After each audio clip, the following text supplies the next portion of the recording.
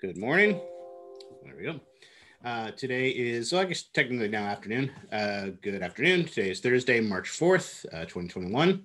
Uh, we are going to finish up our discussion of bone physiology today in lecture and then start our discussion of the joints.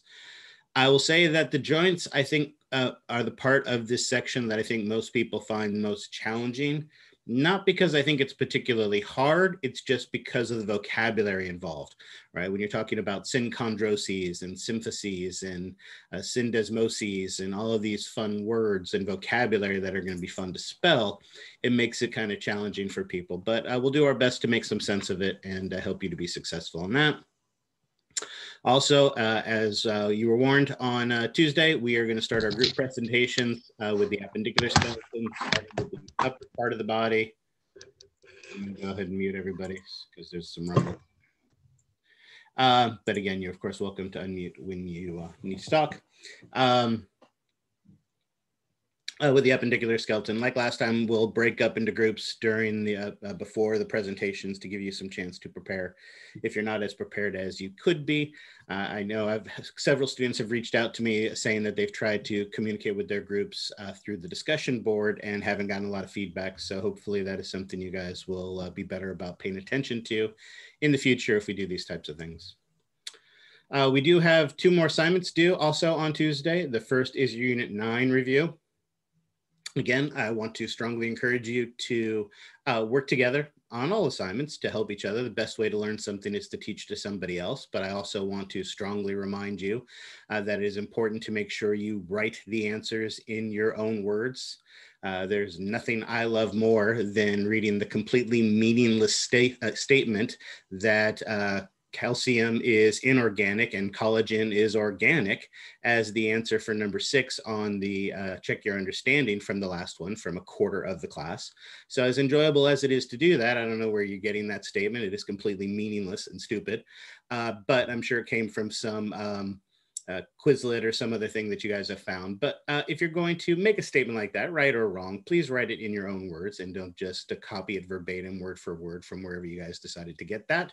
Uh, it is important. Uh, again, the point of these things is for you guys to learn. If you're not putting time, if you're not putting effort into these homework assignments, then they're not doing you any good. It's not busy work. I didn't give you these things because I, I feel you have things you need to do. This is directed studying. So make sure you're putting the time and effort necessary into that to allow it to do its job, which is to help you to learn this material. Speaking of which, we do have a 30 point skeletal review that is due that is going to be graded for correctness. And again, I encourage you to work together in your groups or set your own groups up uh, to be able to work on this. I encourage that because uh, again, it is important, but remember to put the answers in your own word. Now, obviously, if the, it's a one word answer, I think as we learned from last time, for instance, if there was a question on the review that said what uh, vertebrae looks like a giraffe, then you're just, of course, just going to write cervical or whatever the right answer might be. And there's a one word answer for that. Obviously, that's not what I'm talking about. But if you have to describe uh, scurvy or, or, not scurvy, but uh, um, uh, uh, loris or, or some other type, you know, one of those types of things where it requires uh, a sentence or two, make sure you are using your own words to do that. Uh, I will penalize people who do not write things in their own words on that, as well as not having the correct answers because the point of all of this is to help you to prepare for the exam. And that is Thursday, uh, March 11th. Again, same format as the previous two. Uh, no more surprises. You know exactly what to expect from the exams. We had fewer problems with the questions being presented one at a time than we did with them being presented all at a time. So I will continue to use that format for now. Uh, but again, everybody now has experienced it from the second exam. So you know what is expected of you. You know what I'm looking for for the questions. You know what I'm looking for for the answers. Uh, so hopefully uh, you, the scores will come up significantly on these exams as you guys better prepare for them. Uh, as always with a Thursday exam, uh, with a Thursday exam. Uh, we've got five days off before the next class. And so, to help you to use that time wisely, to encourage you to start looking ahead at the next material, which is the muscular system, I have uh, not one, but two pre labs that you are going to be turning in. So, after the exam on Thursday, I want you to take a good 15, 20 minute break. And then I'd want you diving right into the muscular system uh, with the two pre labs, the Unit 10 and the Unit 11 pre labs that are going to be due at the beginning of class on Tuesday. All right. Questions on any of that? I have a question for our appendicular group presentation. So we stay in the same group, right? Yeah. If we had number four last time, we have it again this time? Yes. And we will have a little time to work on it today. Uh, I, again, I'll put you in the groups to organize ahead of time, but you should have been preparing. And again, uh, I don't recall offhand what groups are presenting because again, it's not, we're not doing it in numerical order of the groups. We are doing it in, hold on, let me stop sharing this for a second. We're doing it based on topic. So as I said in last class, we are doing the upper appendage. So it looks like, let me get to the right place.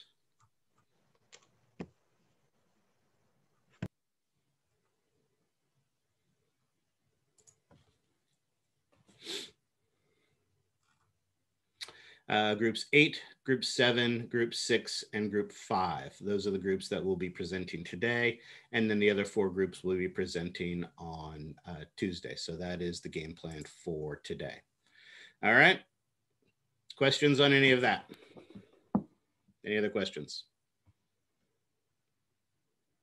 Nope. Did, okay, excellent.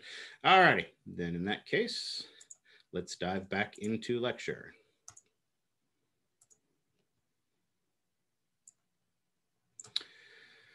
All right, we have been working our way furiously through bone physiology. Quick review. How many different ways are there to make bones? Two. Two. What were they again? Intramembranous ossification and endochondrial ossification. Excellent. How many ways are there to grow bones? Two ways. Two. And what are they? Interstitial and appositional. Okay, those are the growth processes that are used, but technically I would say the two ways we grow bones are in length and width. But you guys okay. absolutely have the right idea. We grow the bones in length using uh, interstitial growth in the epiphyseal plate. We grow in width using appositional growth underneath the periosteum. So technically the answer to the question was length and width. You gave me an answer to a harder question, but you guys had the right idea. That is where those are going to take place. And quite frankly, that was going to be my next question anyway. So you guys just beat me to it. So uh, if you asked on the exam, for example, I mean, probably not, but the simple question of how yeah. do you, what are the two ways to grow in bones, appositional and uh, interstitial would be wrong? Yes. Okay. Those are the growth methods. But if we are, if we are, again, it's not a question that would be on the exam. But uh, again, when you have that baby bone and you want to turn it into adult bone, there's two ways you have to grow it. You have to make it longer, you have to make it wider. Now, you are correct. We use those two growth processes interstitial growth to make it longer, appositional growth to make it wider but uh, so again it, it's not a question that would be on the exam. I probably would eh, mark it right if it was but it's it's like you said it's a very basic question. The point is just to remind us of the things that we've talked about. Like for instance what were the three main factors that are necessary or influence our maintenance of bones? Uh, exercise hormones and diet. and yeah diet. nutrition nutrition diet. Excellent, excellent, excellent, excellent. Right. And remember, especially when we were talking about hormones, we were talking about how important those hormones are not e- just for helping us to maintain healthy bones, but also helping us to maintain an appropriate level of calcium. And again, if it comes to calcium and healthy, big, healthy bones, calcium's going to win every time. Excuse me. Bless you. Thank you.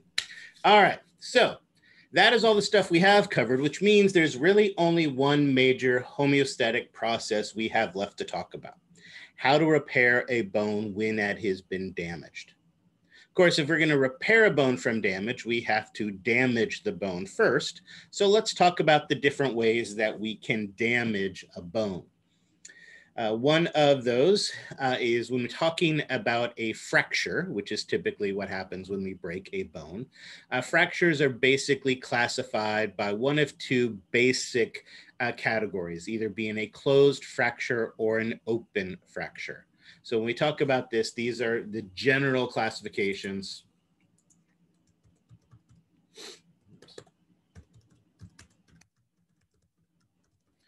What do we mean when we say a fracture is closed or a simple fracture?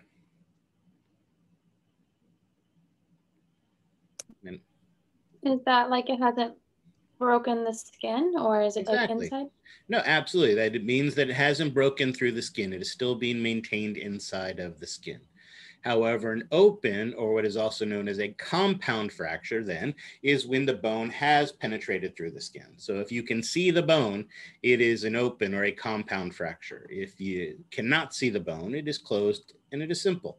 Right. So again, that's a pretty basic, pretty general definition. But obviously, as you can see from this picture from your textbook, there are lots of different uh, specific classifications for fractures. So when we talk about these specific classifications, we want to be able to identify those as well. Obvious, uh, the, the most basic of these is what we call a transverse fracture.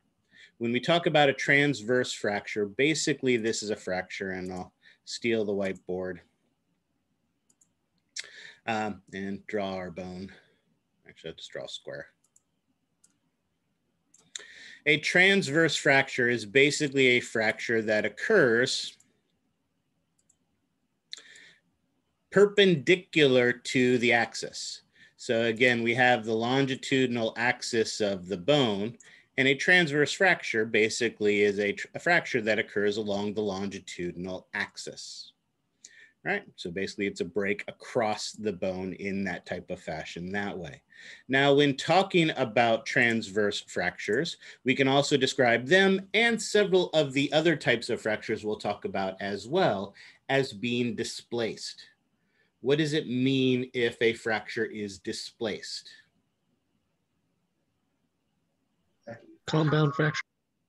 Not necessarily compound. It doesn't. It, now you are correct in that often when it is displaced, it becomes compound. But why? What actually happens when the when the fracture is displaced? Is it just that it moves away from where it's supposed to be? Yeah, basically it means the two pieces are no longer aligned with each other.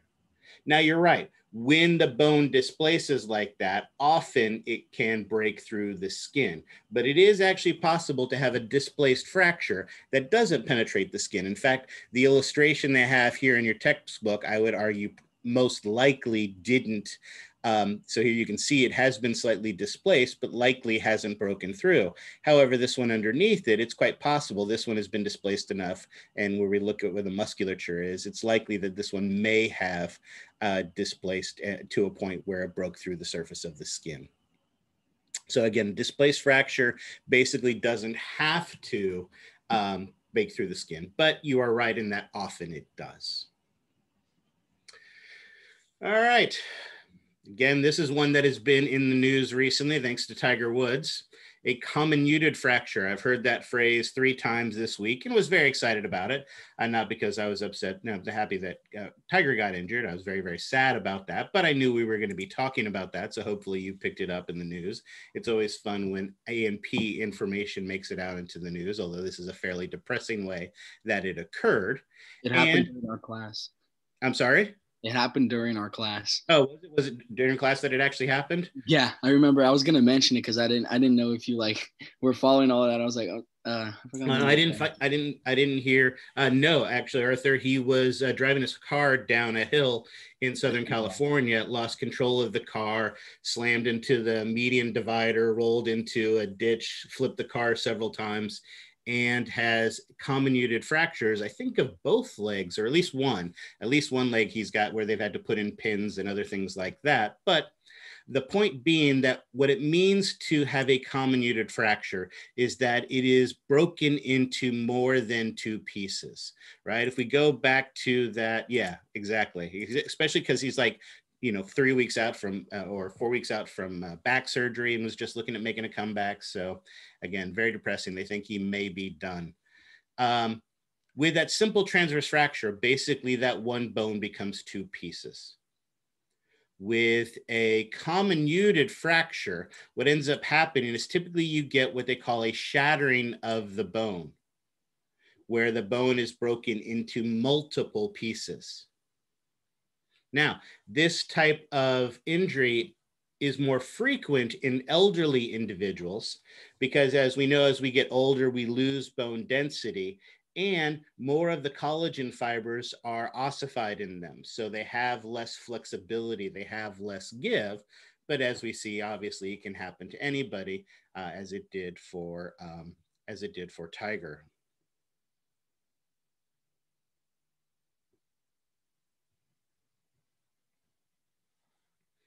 Um,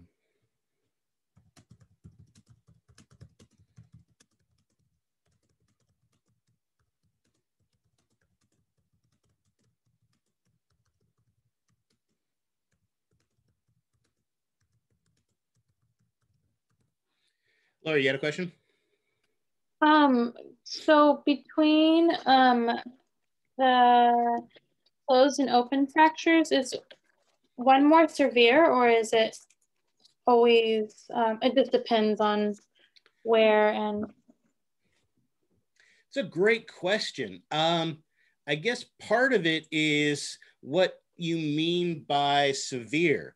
Um, I mean, I guess if we if we're thinking of in terms of how it's going to heal, let's actually go back to um, that this generic picture, right? In the case with a simple transverse fracture where the bone has penetrated through the the, the skin, obviously Mhm. you're damaging muscle and and potentially muscle and, and ligaments and definitely the skin and things along those lines but it's a single break so once it is put back into place uh, recovery could be uh, relatively easy whereas with a comminuted fracture where you've got a shattering of the bone even if that shattering of the bone doesn't break through the surface of the skin when you've got lots of little pieces in there, it can be challenging to recover from that. You don't get as much peripheral damage uh, of the muscles and the skin and, and ligaments potentially from that, but it can be much harder to get the bone to repair in that situation. So I think a transverse, even an open transverse fracture would, the bone would heal faster than a comminuted. The problem is you would have more peripheral damage uh, that you would also need to heal from with that displace. So I think that, that it really depends on the type and, and also the location, the location and type of location, I think. So I don't think that there's a simple answer that one is worse than the other. okay, thank you. Do they fix the comminuted fracture with like pins and stuff like that to keep it in place? Often, yes, that requires uh, it requires some type because uh, you need, as we'll see when we talk about the healing process, we need a, a framework for the bone to be able to grow around and to form. And so, when you have all those shattered pieces like that, you need some type of framework. So, typically, they will use things like pins or plates to stabilize the bone pieces where we want them to be, so that they can regrow back together. Yes. That is so interesting. Thank Yep. you. again, it, it's very cool and very interesting to think about until it happens to you. then it's not so cool and interesting anymore. But but I agree. Uh, th- these things definitely are. Uh, Madison, did you have another question? Um, I actually have like a personal reference to a commuted fracture. Uh, Okay. My grandma broke her femur at the uh, distal part of it, closest to the knee, the medial part, and then right at like right before her hip attached.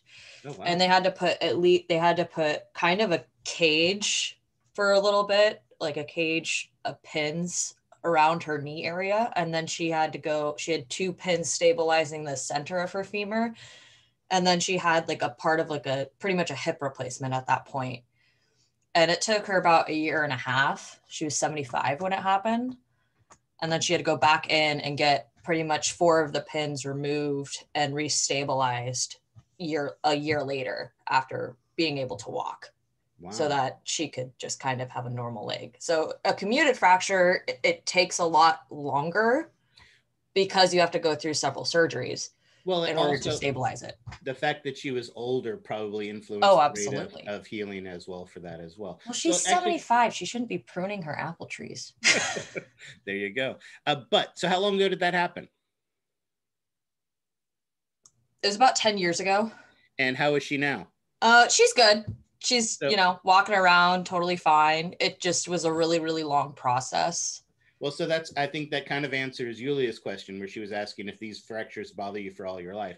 Uh, in many instances, not all of them, but in many instances, and again, it depends a lot on which bone and where and the type of fracture. Many, as we'll see, many fractures actually to heal stronger than they were before. Oh, absolutely. However, something like this comminuted fracture, especially something in somebody elderly, there absolutely could be lingering effects from that. And typically, and it takes much, much longer. A year and a half to heal bone is, is a long time. But as you mentioned, there is a tremendous amount of injury. And so the fact that she's able to walk at all shows just how powerful this process is and how strong these bones can be afterwards. Absolutely. I think so, getting uh, while you were talking, I also caught some of the other comments. Yes, the other issue with an open fracture is an increased likelihood of infection. So definitely that is uh, something that people asked about as well. Yeah, and again, uh, with things like uh, comminuted and the spiral, which we'll talk about, I think next. Um, yes, typically you need uh, uh, halos or pins or plates or things like that to, to stabilize them, and, and often those are removed uh, after the fact. Uh, or the many times the pins are left in place. And that's to keep um, the bones from not shifting, right? Until Correct. they're done. Yeah. to keep them properly aligned so that they can Okay. heal. Excellent. And as mentioned, is a great uh, lead into a spiral fracture. While comminuted fractures are more common in elderly people where the bone is more fragile and more likely to shatter, spiral fr- uh, fractures are much more common in uh, adolescents or young adults. Uh, these are very common uh, sports fractures, some uh, so associated with physical activity, where you basically get some type of twisting or turning force on the bone that causes that. So that could be running across a soccer field and stepping into, uh, you know, a gopher hole or something along those lines, or little Timmy's bouncing on the couch and is about to fall onto the glass coffee table, and mom grabs him and twists his arm as she pulls him away from the coffee table, and that can cause that twisting fracture. At least that's what you tell Child Protective Services. Uh, and uh, again, it's that kind of an excessive twisting force, which, and again, I, I you know I've been drawing these, but as you can see, the, the I'm limited in my drawing skills. I'm not even going to try to draw this spiral one, where that twisting of the bone causes a shearing and tearing of it.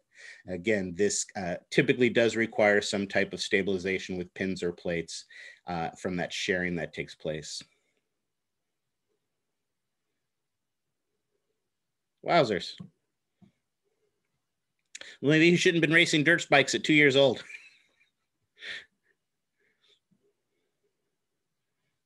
Oh, you were too. Okay, that makes more sense.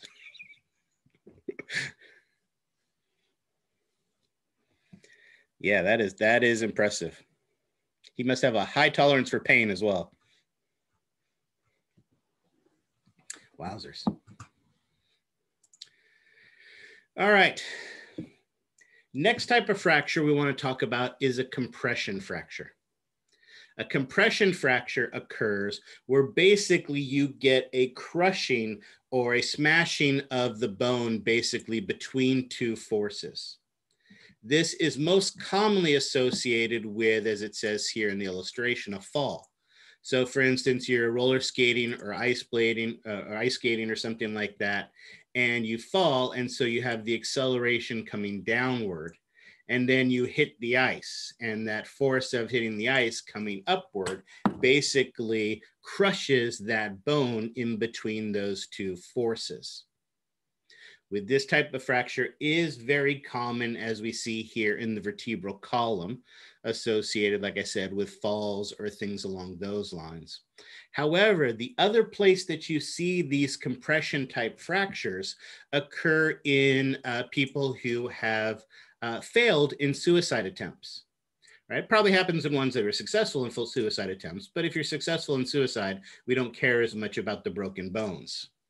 But you have that individual who jumps off a bridge, and as they're accelerating towards the water, they are coming downward off the bridge towards the water. They hit the water with that upward force. And so often, what will happen is you will get this pulverizing or crushing of the long bones in the leg as a result of that. So in the femur or in the tibia, you can get those types of, of compression or crushing types of fractures from that type of uh, activity. These compression fractures, yeah, kind of like crushing a crayon. These compression fractures are similar, but slightly different from a depression fracture. A depression fracture is what occurs when you have a bone and you get a force that is accelerated to it from just one side. So instead of catching, instead of landing on your uh, on your uh, tailbone and having that compression of the vertebral column, maybe instead you hit your head on something. Or maybe like this individual here, your wife has told you to take you out the garbage for the umpteenth time and is finally mad about it. And so she takes the hammer to you. Uh, so again, these are very common fractures that you see in the head. Of course, if you see her coming, you could always hold up your arm and then get that compression, that depression fracture on the forearm as well. But are you again, doing okay, Professor? yes, I'll blink twice if I need help. Don't worry. I was waiting for someone to ask that. the amount of times you have brought up child protective services makes me think that you actually had experience with them. So that makes me worried. Well, uh, like any good parent, I beat my children. What can I say? I'm I'm glad to hear that.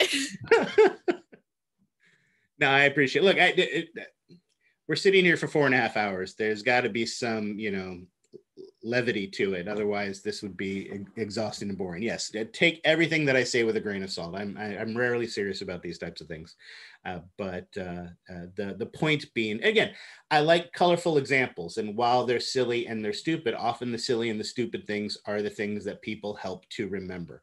I, I've mentioned before how much I love mnemonics, and I think mnemonics are incredibly powerful things. My absolute favorite mnemonic is this one.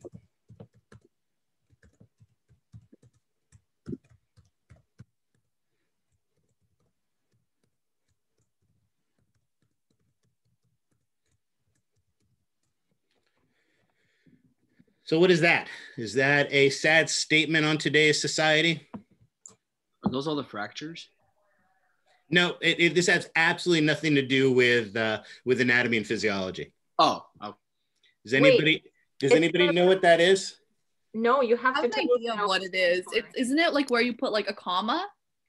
Like over each word or like before each word and it like not, changed- not not a bad guess. You're getting closer but all right back in ancient times and by ancient times i mean when i was in eighth grade right? Uh, they the the united states government had had decided that you know what the whole rest of the world uses the metric system. It is time for us to use the metric system as well. So, guess what, guys? On Thursday, we're switching to the metric system. And so, in school, we all had to scramble in eighth grade to learn the metric system because on Thursday it was going to come. Of course, Thursday came and nothing ever happened. But way back in eighth grade, which was something like 75 years ago for me now, this was the mnemonic that our teachers gave us, which tells you something about the education I got as an eighth grader to help us to remember our metric system. Because if you think about it, if you do it in terms of meters, you have kilometers, hectometers, decameters, meters, decimeters, centimeters, and millimeters. And for whatever reason, even though I learned this in eighth grade, it is stuck in my brain. So, like I said, sometimes the silly examples, sometimes the silly mnemonics, sometimes those kind of goofy things, even though they're silly, even though they're stupid, sometimes those are the things that help you to remember things. And so, yeah, I use silly examples because uh, A, it amuses me, and B, uh, because sometimes those silly things help you to remember stuff. All right. There you go. Excellent. All right. So the point of all of this is the big difference between a compression and a depression is compression basically you're getting that acceleration from both sides. So it crushes the bone in between where a depression you're pretty much getting that indent that indentation on the bone from just a force to one side. Yes there are a couple questions? Yeah i have a question. So do these depression fractures normally not hurt your brain or do they normally like have a big potential risk of harming your brain? Um so uh, here's what i would say to that. Uh, the key with a depression is it doesn't go all the way through the bone.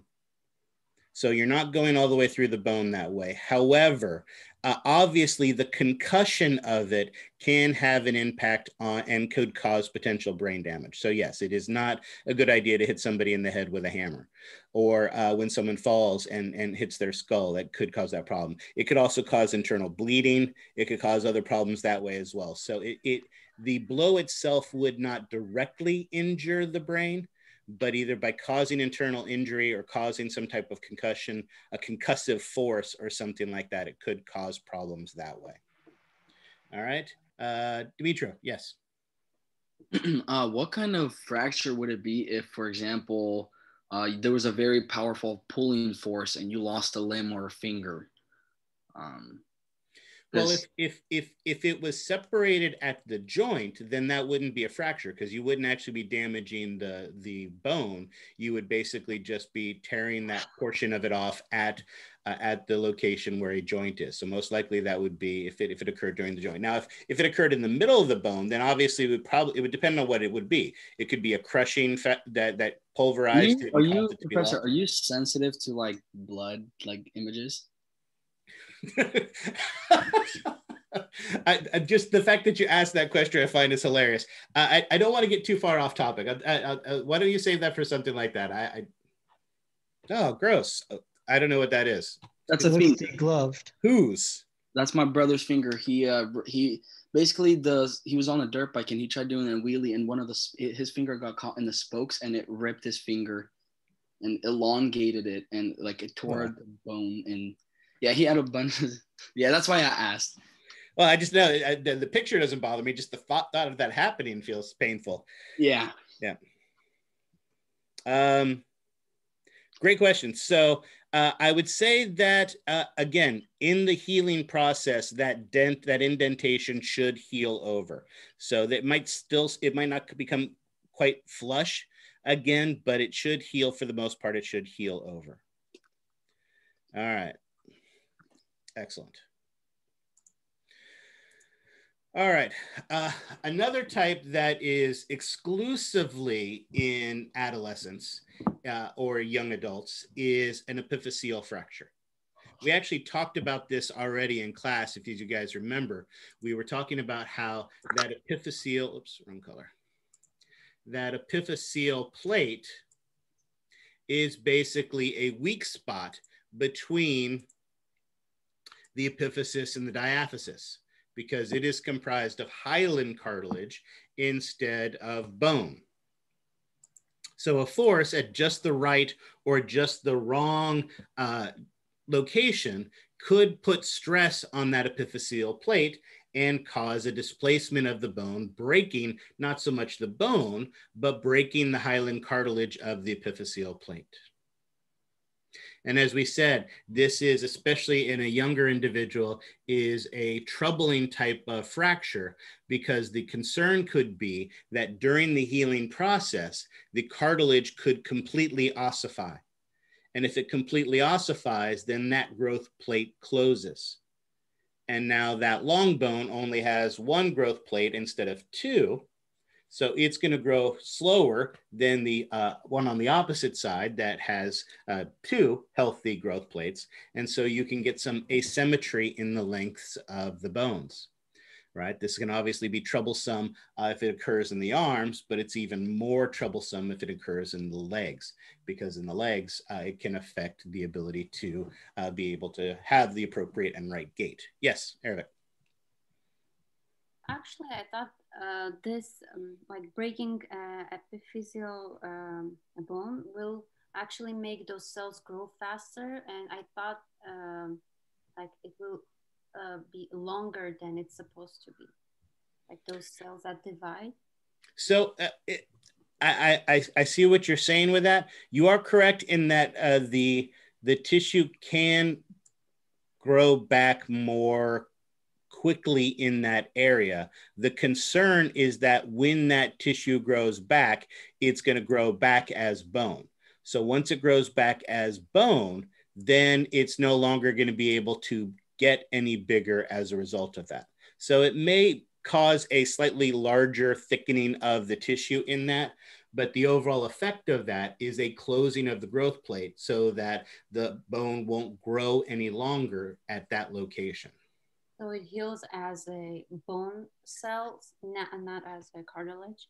Well, see, as we'll see in the healing process, uh, as we've as we've learned, life is lazy. We know an easy way to make bone. We make cartilage and we replace that cartilage with bone. And guess what? That's exactly how the bones are going to heal. And so, since there's already cartilage there, there is a risk that the uh, chemical signals, the growth factors, the things like that that stimulate the healing process can enhance the formation of bone and cause it to close prematurely. Yeah, so it might be a little thicker, but it would ultimately be shorter because it wouldn't be able to grow anymore in that location. Uh, I have a question regarding um, individuals who perhaps have like an elongated uh, leg. Um, I've heard of an instance where someone actually got the other leg shaved or like a part of their leg cut off to balance with the other. Is that an actual uh, procedure that actually happens or? I, I have not heard of that. I'm not going to say that it doesn't occur. I guess it would have to be the situation. What I've actually heard of is the opposite, where Oh. what they do is they do a break in the bone. And when they oh. do a break in the bone, what they do is they then put a spacer in between there so that they, they break the bone and then they put a spacer in between it so that that space fills up with bone. And as a result of that, you could get an eighth, maybe a quarter of an inch, maybe, but closer to an eighth of an inch in length added to the bone by doing that. However, if you think about it, even if it's a quarter of an inch, if one leg is an inch and a half longer than the other, that's a lot of breaks, a lot of pain, a lot of time to have that done. But, but, uh, so, um, I've heard of that. I haven't heard of the other one. I'm not saying that it doesn't occur. This isn't my area of expertise, but I've heard more of the, heard, the like, um, individuals enlarge it. wearing, like um, shoes that have like a larger platform for the other foot that's shorter. Yeah, it's much easier. Exactly. It's much easier to put in lifts in the shorter leg and get, you know, have orthopedic shoes than it is to, to cut or, uh, you know, or to break the bone. All right. Well, thank you.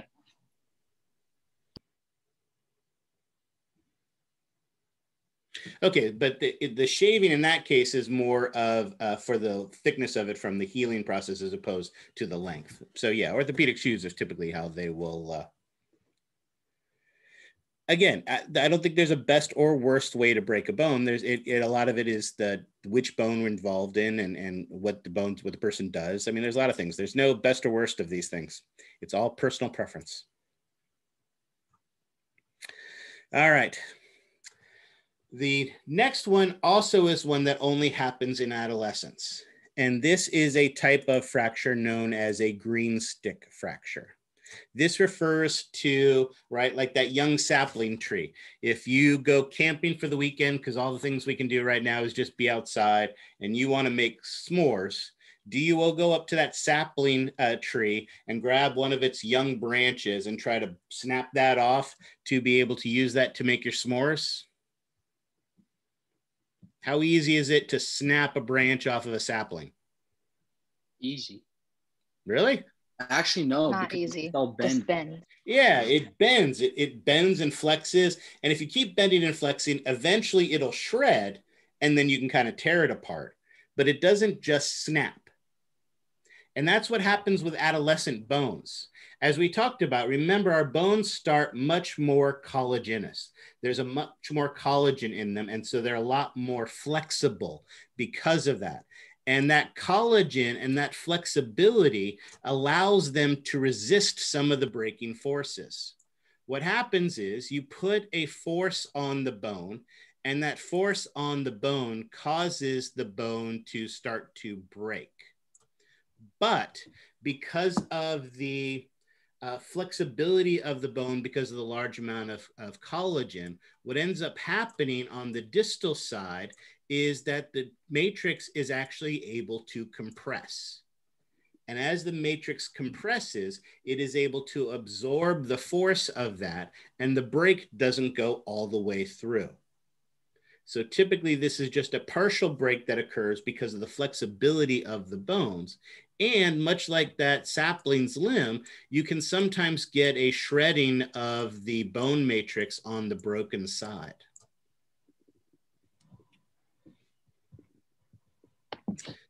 Don't make sure you take out the garbage and no one will hit you in the head with a hammer, Yulia, and then you won't have to worry about it.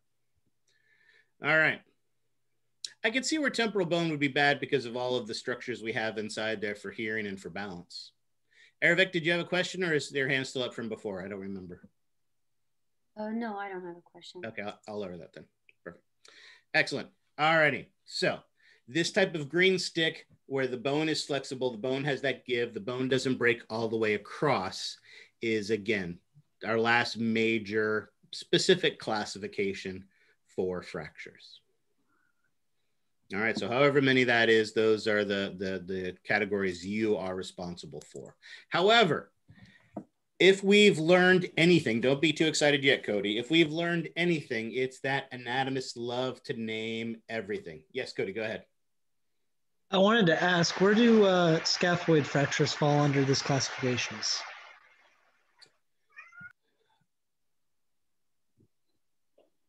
I mean, it,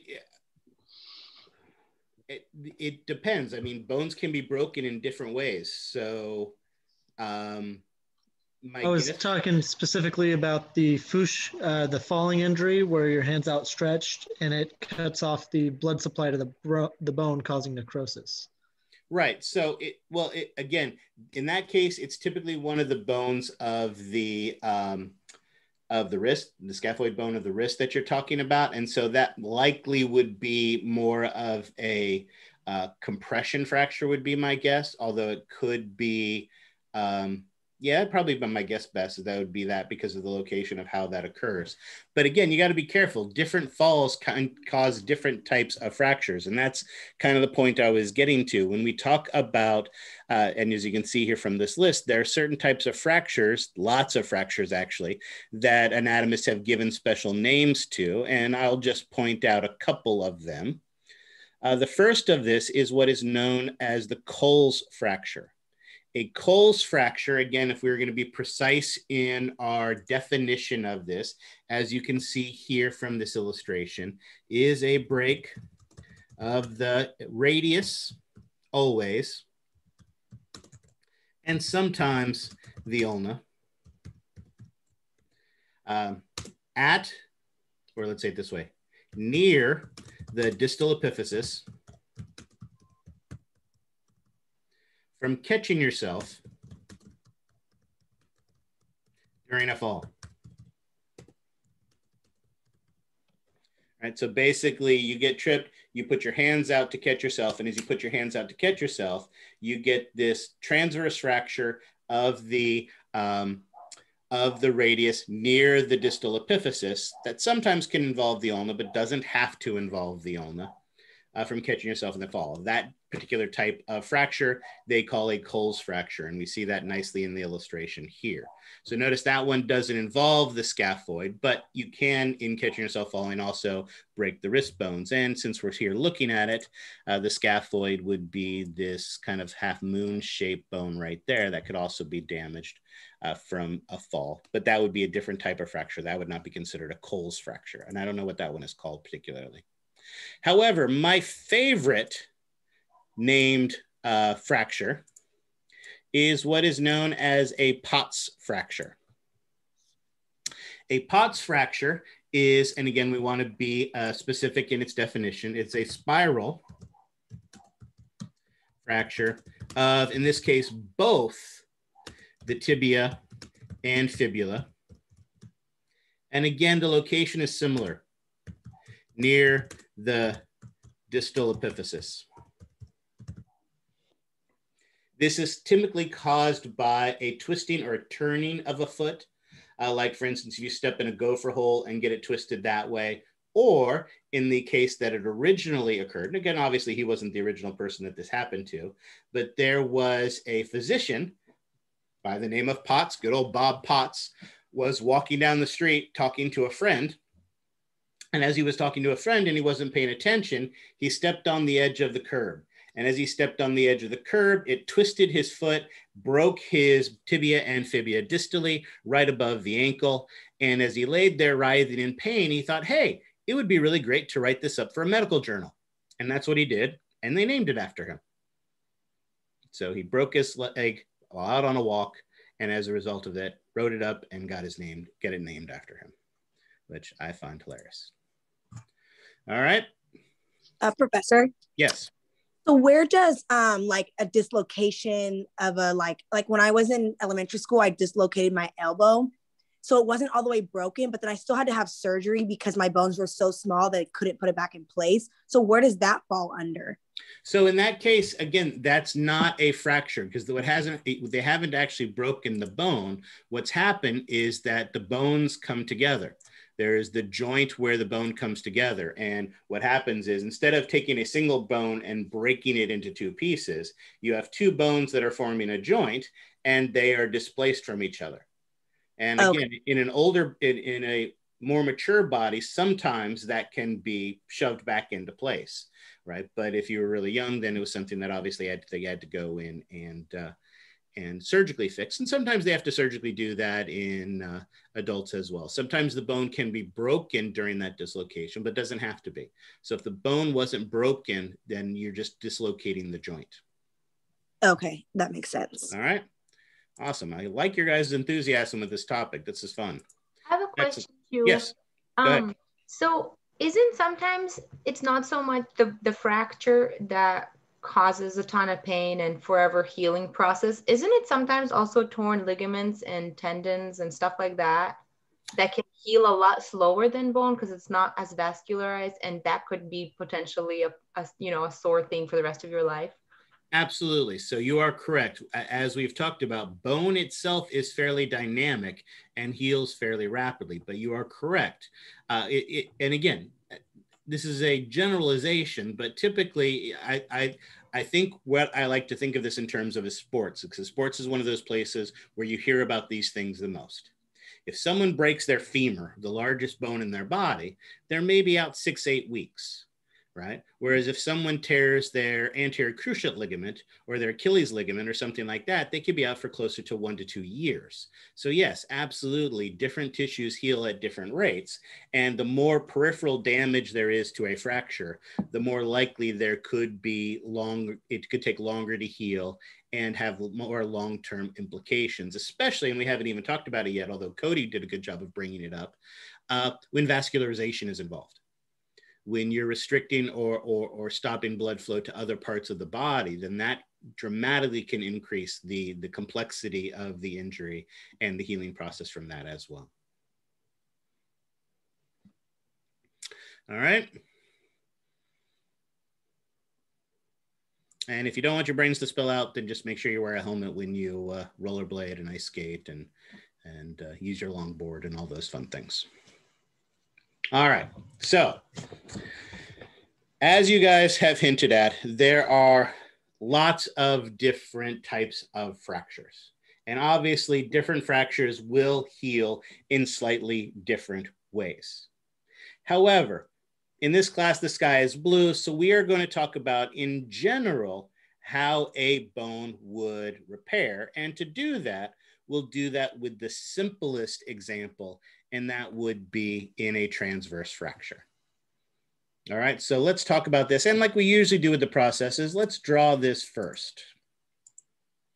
So I've got this fine bone here, although actually it's so easy to draw. Let's go ahead and start from scratch. Do, do, do. Nope. All right, there's the diaphysis of my long bone.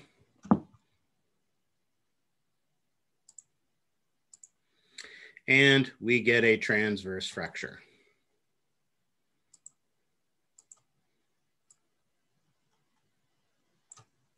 Now, when we break a bone, we know that bone is going to hurt like heck.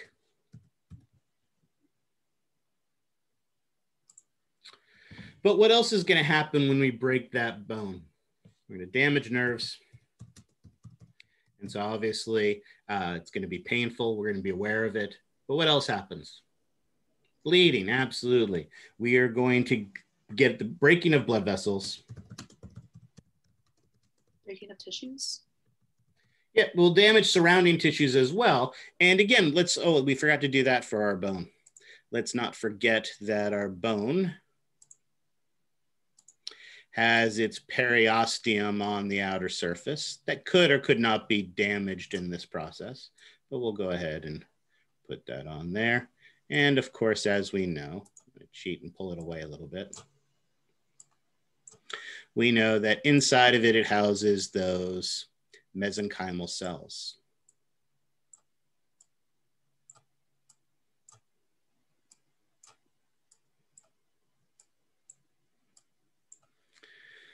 So again, throw some quick labels on here.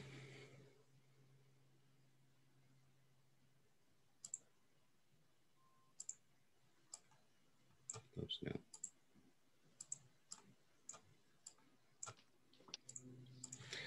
The periosteum and mesenchymal cells.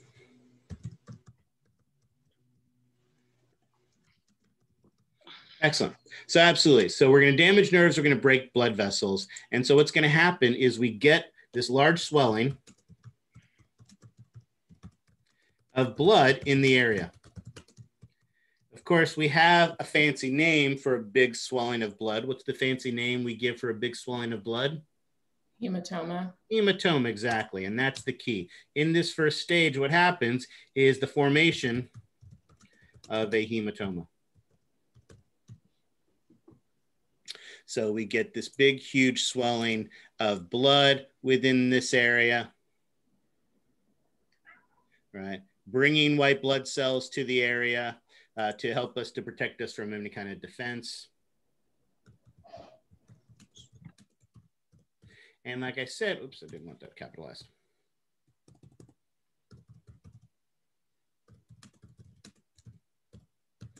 Uh, oops, blood cells trying to talk, trying to draw, trying to uh, write all at the same time. It's not easy. Swelling, pain in the area. Why is that pain so important? To make signal reactions. Body know that something's wrong. Yeah, so that you know that something's wrong. If you were going to go jogging five miles after class today, but during the middle of class you broke your leg and it was super painful, are you going to be likely to go jogging five miles? No. Yeah. well, some people are gluttons for punishments, but most of us, the pain would stop us from wanting to do that. And so, again, it makes us aware of the fact that we're injured so that we don't want to do anything to uh, further damage or cause any further problems from it. So we get that swelling, we get the, the inflammation in that area. We have one other issue with this breaking of the blood vessels. When we break the blood vessels, as we talked about, this is going to disrupt blood flow. So, yes, the portion of the bone that has been damaged obviously is damaged as a result of that. But if we break the blood vessel, for instance, feeding the cells in this region of the bone, well, then this region of the bone could die as well right? Or this part over here could be disrupted from its blood flow. So what can happen is we can also get peripheral bone that is damaged from the lack of blood supply. So we're going to get some bone death outside of where the actual injury occurs as a result of this. Yes, Laura.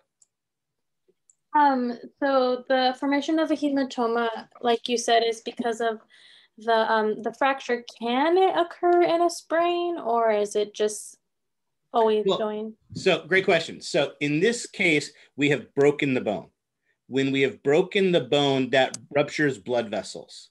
And so we will get swelling and hematoma in that area. However, is it possible to injure a muscle, tear a muscle, injure some other part of your body that also could swell and get cause, you know, blood to fill in that area and cause a hematoma not involving the bone? Yes, that can happen in other areas as well. So it is possible to get hematomas in other areas. But this particular hematoma is due because of the bursting of the blood vessels within the bone itself, because we know bone is very, very vascularized. But yeah, you can get hematomas lots of different locations. I missed it. What was the purple stuff you drew right at the bone fracture? Uh, this stuff, Yes. uh, that represents the, it really looks purple. I thought it was, it's the gray actually. This is dead bone. That is This is just representing the dead bone uh, that is uh, forming uh, from the disruption of the blood supply. So the point I was trying to make is that even some of the bone that isn't directly injured by the fracture, damaged by the fracture, can actually die from that disruption of blood flow to the area. All right. Questions on that? All right. So we have this injury, but luckily we have this periosteum that has mesenchymal cells. And as we know, mesenchymal cells are pluripotent stem cells that can divide to become any type of cell uh, that is going to be needed for a connective tissue. And since we've broken this bone right here, these mesenchymal cells are going to divide so that we can heal this bone. And we're going to heal this bone by type producing what types of, uh, of connective tissue cells? Fibrocartilage. Osteoblasts. Osteoblasts are what would make a whole lot of sense. But as it turns out, what they actually divide to form are fibroblasts and chondroblasts. I know that doesn't seem intuitive. No, remember mesenchymal cells are pluripotent, not omnipotent. Omnipotent means they could become anything, and they can't become skin cells, for instance, right, or liver cells. Whereas unipotent mean that they can only become one thing. So pluripotent means that they can divide to become multiple things. And in this case, they can become any cell associated with a connective tissue.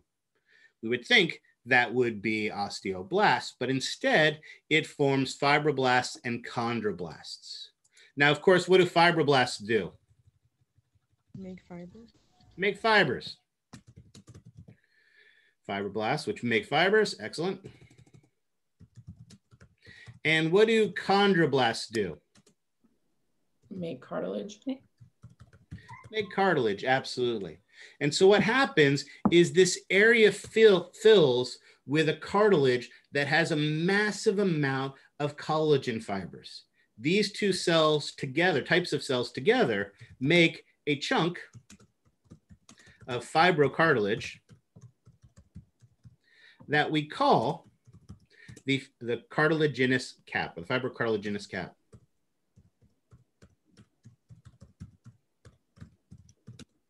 Callus, or it's also called a cap. So what's going to happen is this area, cheat, is going to fill up with this massive amount of collagen fibers, massive amount of cartilage to form this big, whole, huge fibrocartilaginous callus or cap. And this process can occur in as little as a few hours. Oops, that didn't all need to be capitalized, but.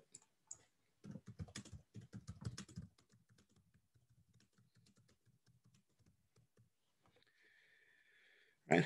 Why is that significant? Because if, quick- the- if it's not straight and it starts to heal, it'll heal crooked. There you go. Absolutely. There you are on Sunday, right? Playing flag football with your friends. And of course, Sunday's flag football with your friends basically means tackle. and you hurt your arm, right? But you got to be big and manly so you can't say anything about it. And then Tuesday rolls around and your arm still hurts. So finally you go and see the doctor. And when you go and see the doctor, it turns out it's broken. And often in those types of situations, what's the first thing the doctor has to do? Re-break it. Yeah, break the bone, right? Really, when they're re-breaking it, when they're breaking the bone, they're not actually breaking the bone. What they're doing is breaking up this chunk of fibrocartilage, and that's what the fibrocartilaginous callus is. This callus or cap is this chunk of fibrocartilage. And so if the bones aren't aligned, they will have to break up that fibrocartilage and realign it so the bones so that when that cap forms, it forms the basis for which the growth is going to occur.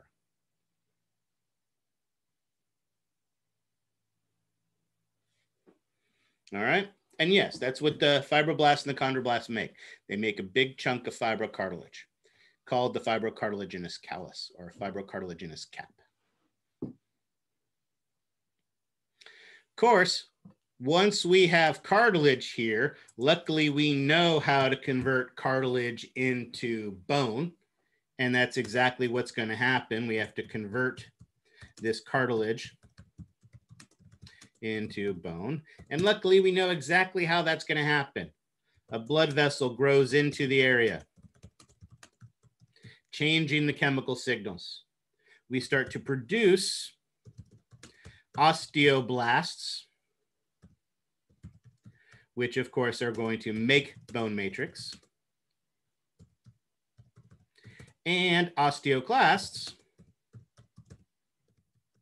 which are going to break down the dead bone and the uh, fibrocartilage.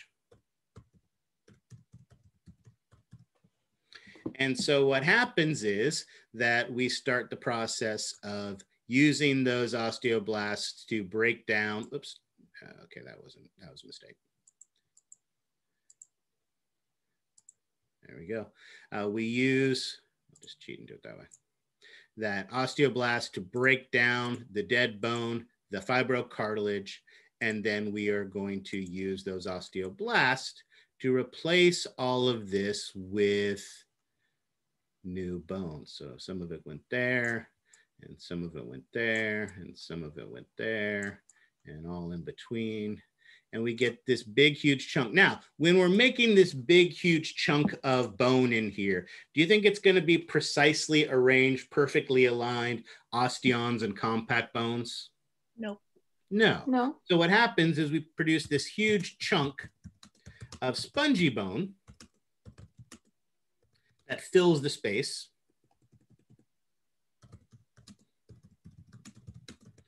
And when that big, huge chunk of spongy bones fills the space, we call this the bony callus or the bony cap. Now, at this point, is the bone healed? No. No. No. But typically, at this point, the cast comes off. Why? Why are we taking the cast off at this point if the bone's not fully healed? Because the bone needs to strengthen. Right. Because as we know, weight bearing exercise strengthens the bone. So at this point, the bone can take a moderate amount of stress. And in this case, that stress is going to be a good thing. So again, the second that cast comes off, you shouldn't go running five miles like you were going to before. But as Yulia pointed out, you want to put weight on it. You want to start walking around on it. You want to start putting that force on it so that that force can start to strengthen the bone and align the osteons. Yeah, that's where the physical therapy comes in. Laura, you had a question. Um, in a bone that can't really have like a cast or like your nose. So it when it you break it, is it always it's gonna be fibrocartilage callus instead of um the um what is it? The bony callus? No, so okay, so be careful because a lot of times when people break their nose, what actually happens is they break the cartilage of the ridge. Remember, Oh, our nasal bone is up here, and do, this nasal bone does help to form the bridge of the nose. But normally, when Mhm. someone breaks their nose, it's typically more inferiorly in the cartilage. But you do have the right idea. If, for instance, you know you you have a, a, a fracture to the skull or something like that, obviously you're not putting weight bearing exercise on it. Uh, but at the same time, it's also not weight bearing, right? Whereas if it's your leg, having that that stress on it, that moderate stress on it, does help to strengthen it and realign it so that it can um, so that it can uh, hold your weight and help you to move around. Is this whole process calcif, calcif, oh my goodness, Lord, calcification, or is it this the strengthening of the spongy bone?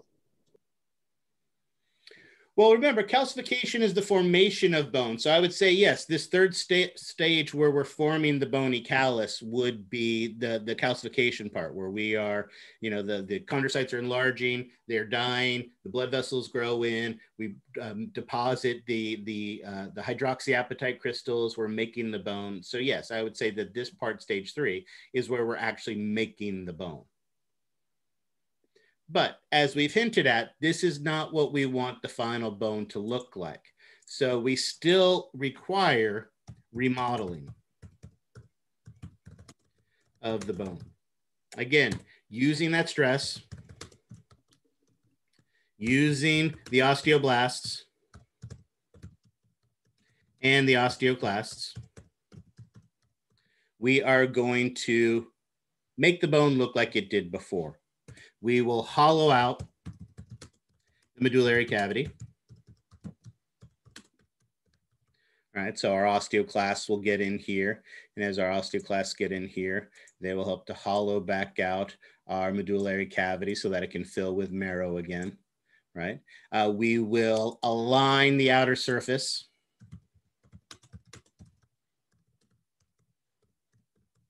Uh, with compact bone. So we will form those thick layers of compact bone on the outer surface. So we're going to get that nice thick compact bone on the outer surface, right? Hollow out the medullary cavity and heal the bone. Now, this process, give me one second, Sydney. I have one more statement and then I'll answer your question. This process, uh, well, if it's a mature adult, then it would still be yellow bone marrow. Oh, actually, that's not entirely true. It would start as red, but then would be converted into yellow. Um, this process can take months to years to fully remodel. However, typically, and again, there's always going to be exceptions, typically the bone is stronger after healing than it was before. So when a bone is broken, that bone is actually much more likely to be broken in a second different location than it was on this original location. And after years, five, ten years, the outer surface of the bone, it may be impossible to tell that it's been broken.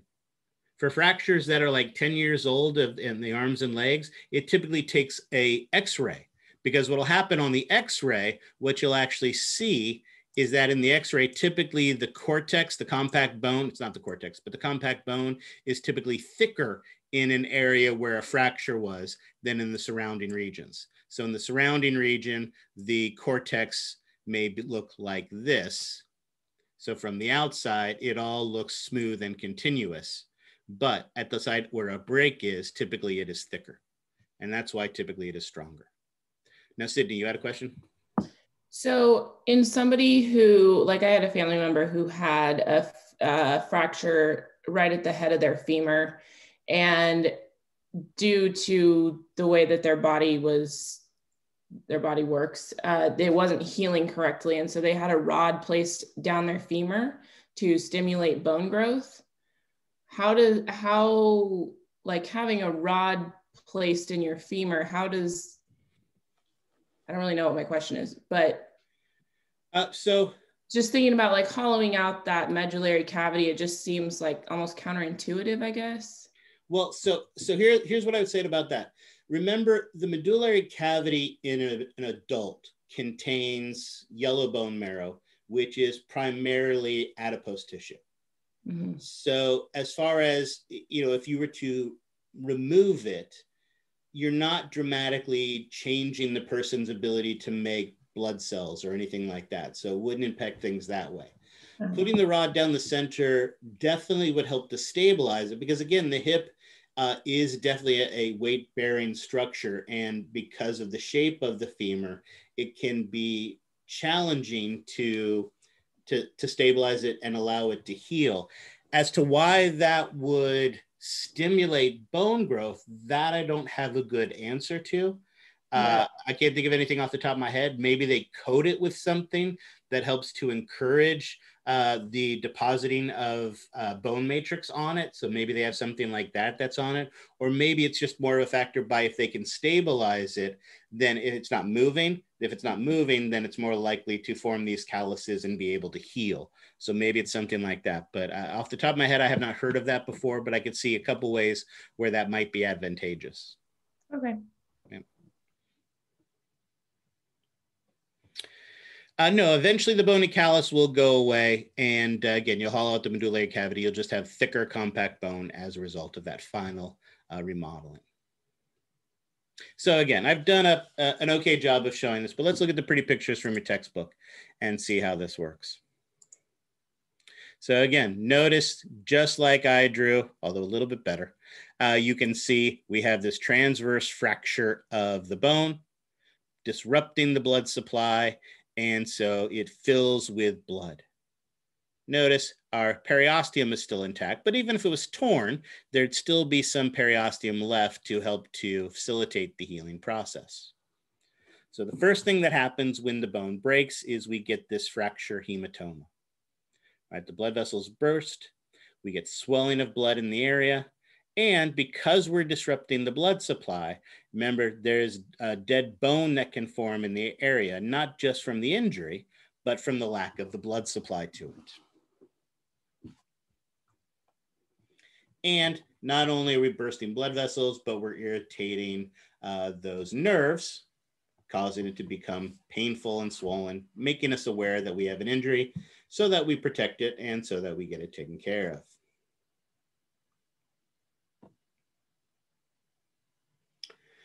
Those chemicals released from the damaged tissues, those chemicals released from the white blood vessels that come into the area, stimulate the mesenchymal cells of the periosteum to become active. But as we talked about, they don't become what we think they should become. Instead, they become fibroblasts that make a lot of fibers and chondroblasts that make cartilage. And so the space fills up with this big, huge chunk of cartilage with a massive numbers of, uh, of uh, collagen fibers in it. Essentially, it forms a big chunk of fibrocartilage. And that big chunk of fibrocartilage we call the fibrocartilaginous callus, or like I said, it also can be called the fibrocartilaginous cap. And so this stabilizes the bones and then this forms the framework where we can grow bone to replace what has been injured. As we also talked about, the formation of this cartilage can happen in as little as a couple hours. So if those two pieces of bone aren't perfectly aligned, then the doctor actually has to break up the fibrocartilage, right? You hear about that all the time. They had to re-break my bone. They're not really breaking the bone what they're doing is breaking up this fibrocartilage so that the bone can be aligned properly so that when it replaces it with bone, it heals. If you leave it displaced and it heals that way, then you're going to lose the integrity of the bone, right? And it can affect the movement of the bone, the strength of the bone, all sorts of problems. So it's very important to get those two pieces aligned.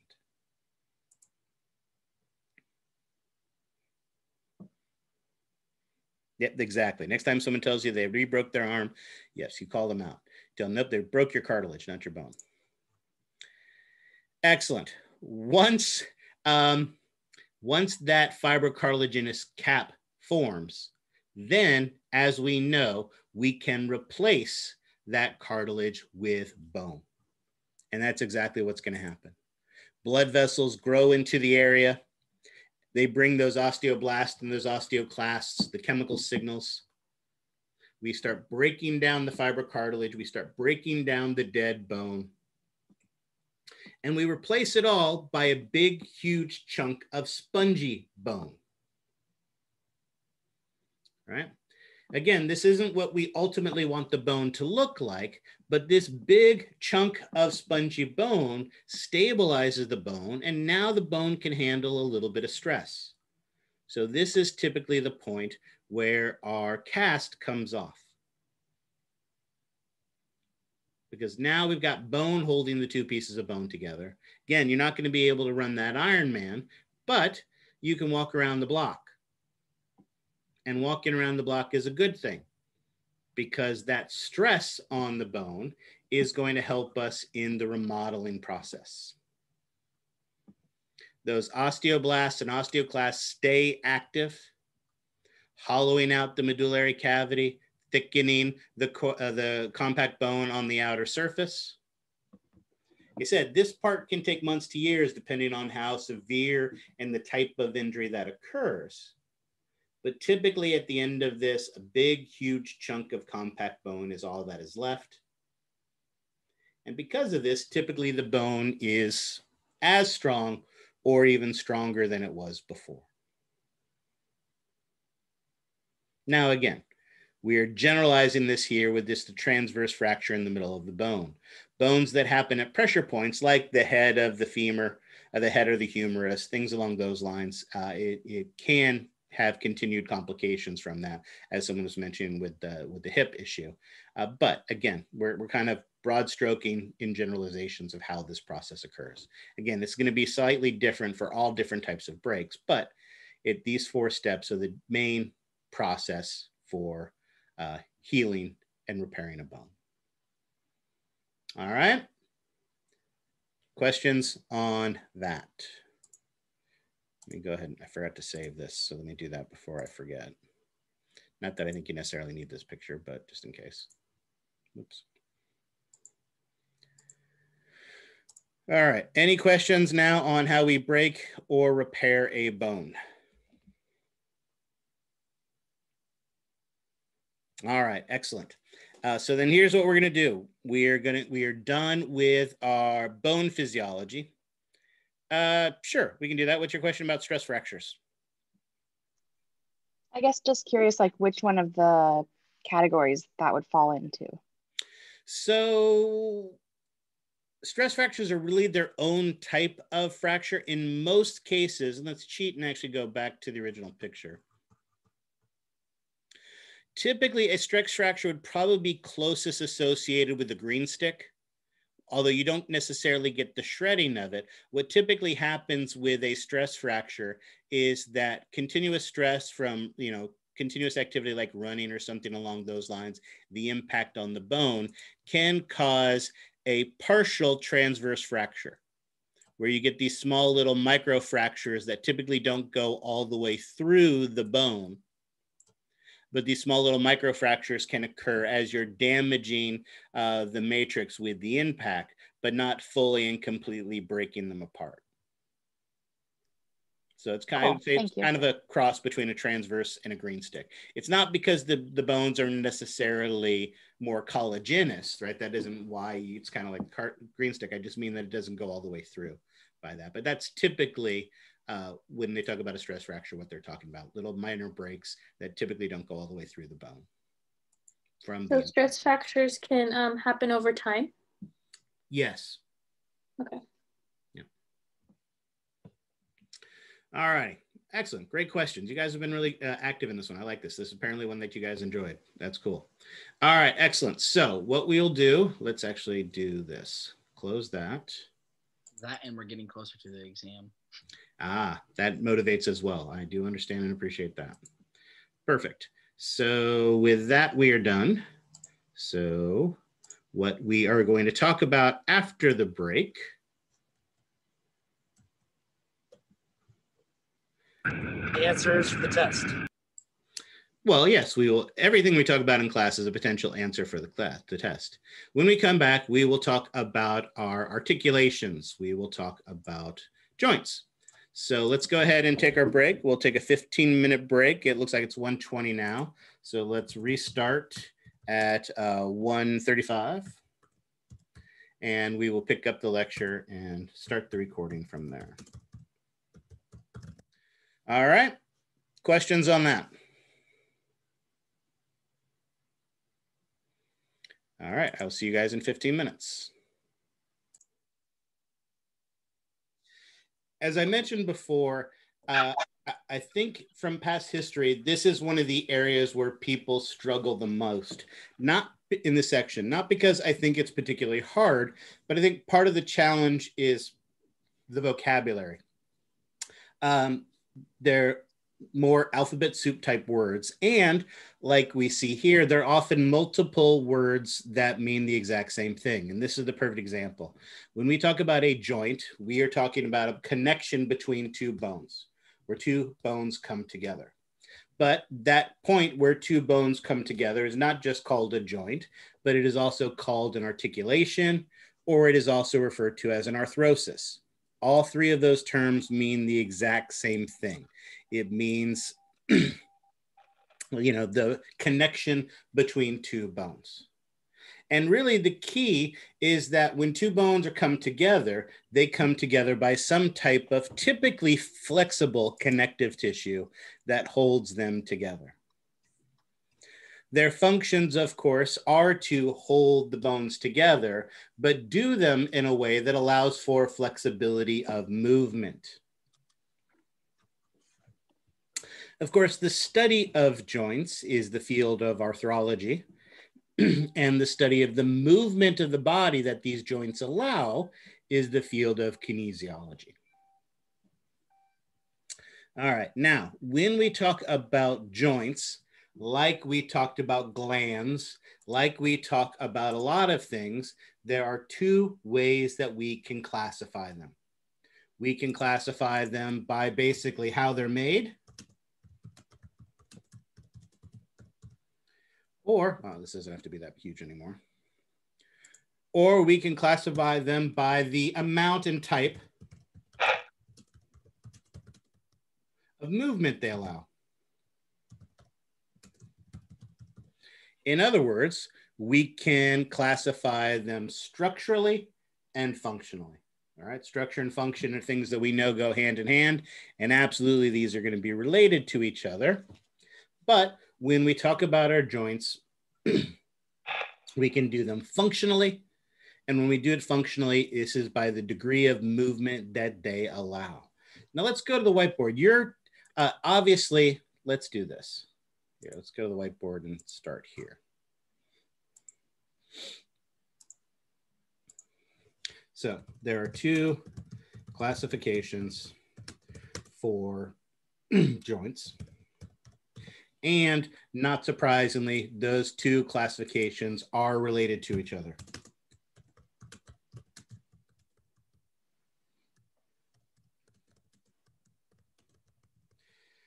On Canvas, I have actually posted a handout that basically does exactly what I'm going to do right here, puts this all together and hopefully helps to make sense of it. There is no assignment associated with it.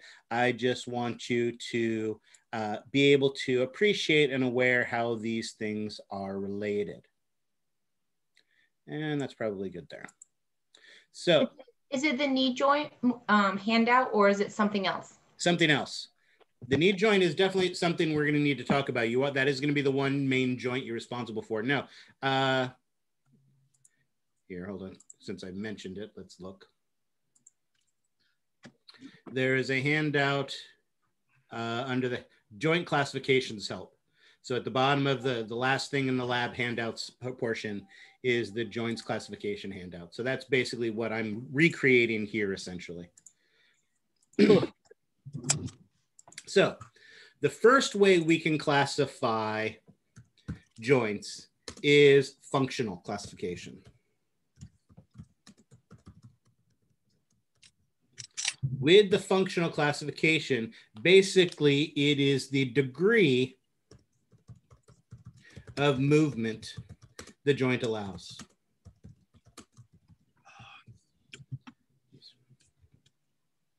And the important thing to remember is that there are three specific types. Well, let's just say it this way, three types. I knew it wasn't that simple. I knew there wasn't two. Well, no, there are three types of functional classifications. No, I know. I'm saying it, get, it gets more and more deep. Excellent. So the first functional classification is what we call a synarthrosis.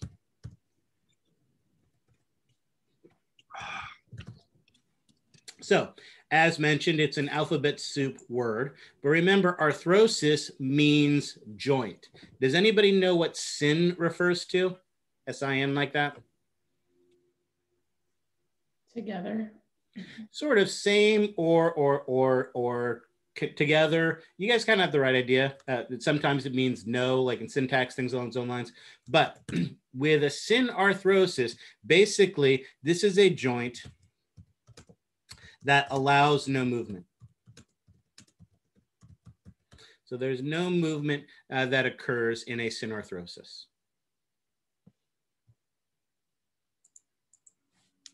Can someone give me an example of where we might find one of those? Where do we have two bones held together where we don't have any movement? Like tibia and fibia? Well, but there where they actually do move. Yeah, they rotate. Yep, they can rotate a little bit. Would it be our um what is it called? Our ribs? Uh no, not the ribs either, because remember our thoracic cavity needs to be able to change shape. There you go. Daniel's got it. How about our skull? Are the bones of our skull moving in relation to each other? No. So those would be an example of a synarthrosis, right? Where there's no movement that is allowed. The second type is an amphiarthrosis. Again, arthrosis means joint. When I say amphi, what do you guys think of? Oops. What does amphi make you think of? Amphibian. Amphibian. And what's special about amphibian? They're not reptiles. They're not reptiles, right? And and uh, where do amphibians live?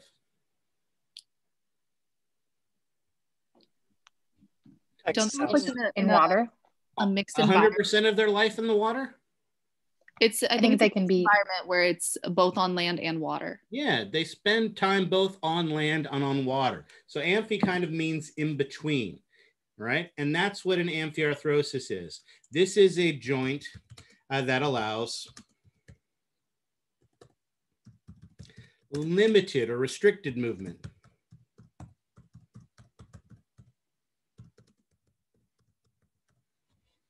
Uh, an example of this would be, remember we were talking about, uh, or we'll talk about in more depth, uh, the pubic symphysis. The pelvis, when the pelvis comes together, there's that joint in the front that allows a little bit of flexibility of movement. This typically is loosened by hormones when a female is pregnant, making it easier for her to pass the basketball through, right? So it gives a little bit more flexibility, a little bit more uh, give. It doesn't swing like a gate open, right? But it does loosen, giving you know a pregnant woman, especially a late-term pregnant woman, a very distinctive gait to the way she walks, right? Notice I didn't say waddle, right? But that very distinctive gait because of that flexibility that gives there. Someone earlier used the example of the tibia and fibia, how they can kind of uh, move in relation to each other. That would be another example of one of these amphiarthroses. Yulia, yes. Yeah, so I still don't know why it's called amphiarthrosis. Because it's not a free, free moving joint, but it's also a not moving joint, right? So it doesn't allow no movement. It doesn't allow free movement. So it's basically in between the two. Okay, thank you. Yep. And that leads us right into the third one. The third one is a diarthrosis. And that diarthrosis allows, is a joint. I want to be consistent with the way I've done it. That allows free range of motion. However, It's not a completely free range. It can be restricted in the axis, right? Perfect example is right here between my first two uh, uh, phalanges of my fingers, right? At there, I have that ability, or actually, I guess here is easier. I have that ability to be able to move. I have a free range of motion forward and back like this here. However, can I get my finger and move it to the side this way? Not typically. No. No, not typically. And in fact, if I did that, I'd probably be heading to the doctor shortly afterwards, right?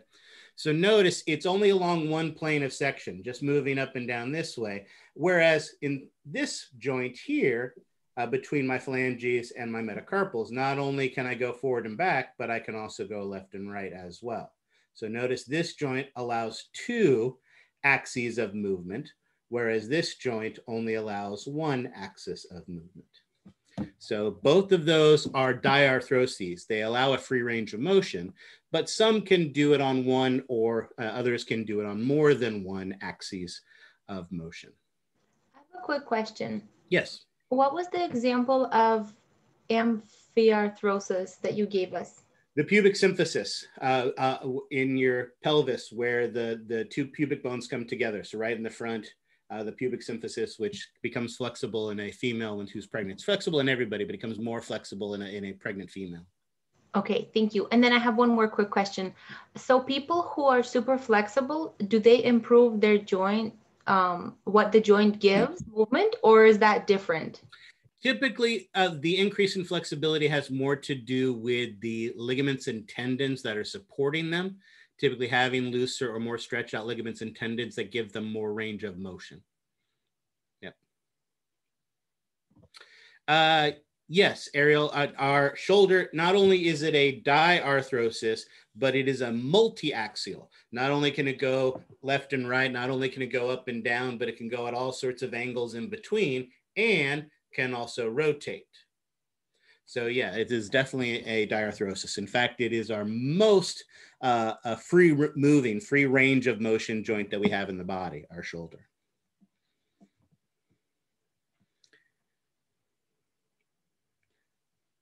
Sad?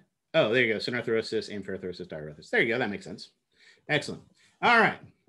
So those are our functional classifications. Questions on that? All right, that was pretty easy. So next we need to talk about uh yes, somewhat because uh yeah, that is one of the good things about it is that it has a wide range of motion, but that also means it is the joint that is most likely to be dislocated. And obviously, especially a pitcher in baseball puts a tremendous amount of force and stress on their shoulder. Uh, so yes, that can be uh, one of the reasons why they uh, uh, shoulder and elbow injuries uh, are not uncommon in baseball players because of the amount of force that they're producing. All right. The second classification for joints are our structural classifications. With our structural classifications, basically what we are defining here is the type of connective tissue that holds the bones together.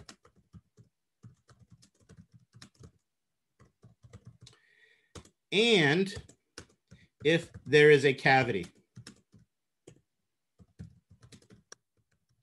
a present or not. So basically, actually, let's do it this way. Our structural classification is essentially how the joint is made.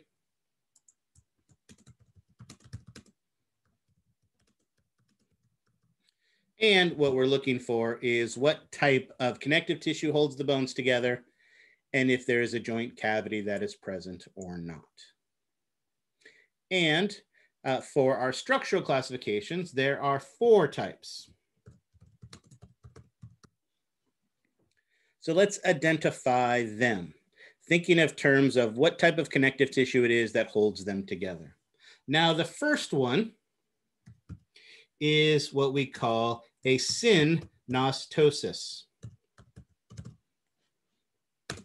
Now, based on that name, you may not be able to tell what type of connective tissue is holding the two bones together. However, I will give you a term that I will tell you right now you are not allowed to use on the exam. But it will help us in our definition here. Synostoses, is, is is the singular, es is the plural, IC is the adjective, fun with vocabulary. I'm actually going to write that down because that, but we'll do that in a second. Synostoses are sometimes commonly, but not by you, referred to as bony joints. So based on that, what type of connective tissue do you think holds a joint together, the two bones together in a synostosis?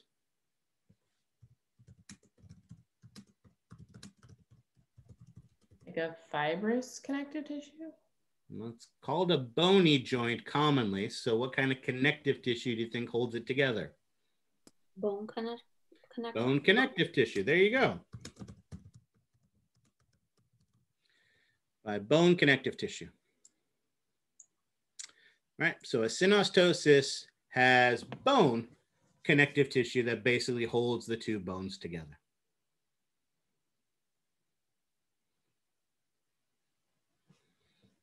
Now again, let me put this up here because it helps. No, no, that I want black. This I want green. So remember, as I mentioned, SIS is the singular. SES is the plural.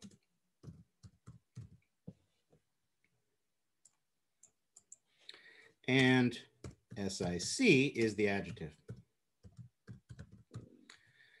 So I can have one synostosis. I could have two synostoses, or I could have a joint that is synostosic, right? Same thing for amphiarthrosis or diarthrosis.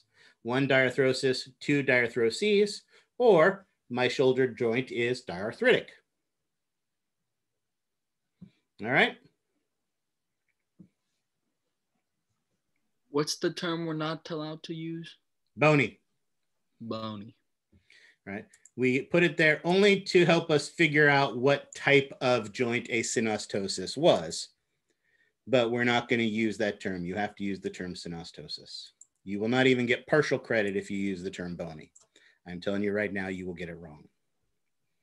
What if we put synostosis and then bony in parentheses?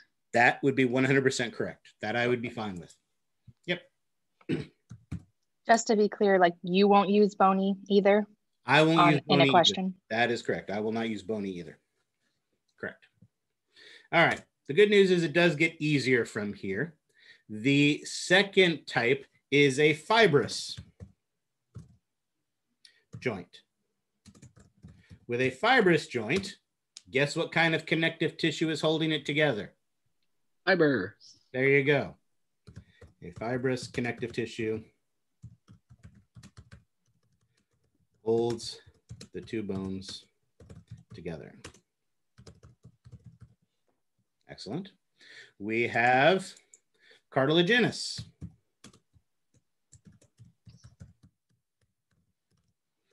And with a cartilaginous joint, guess what kind of connective tissue holds the two bones together? Yes, Yulia? Did we have examples um, of? We'll get to that. Don't worry about it. We'll get to that. Okay.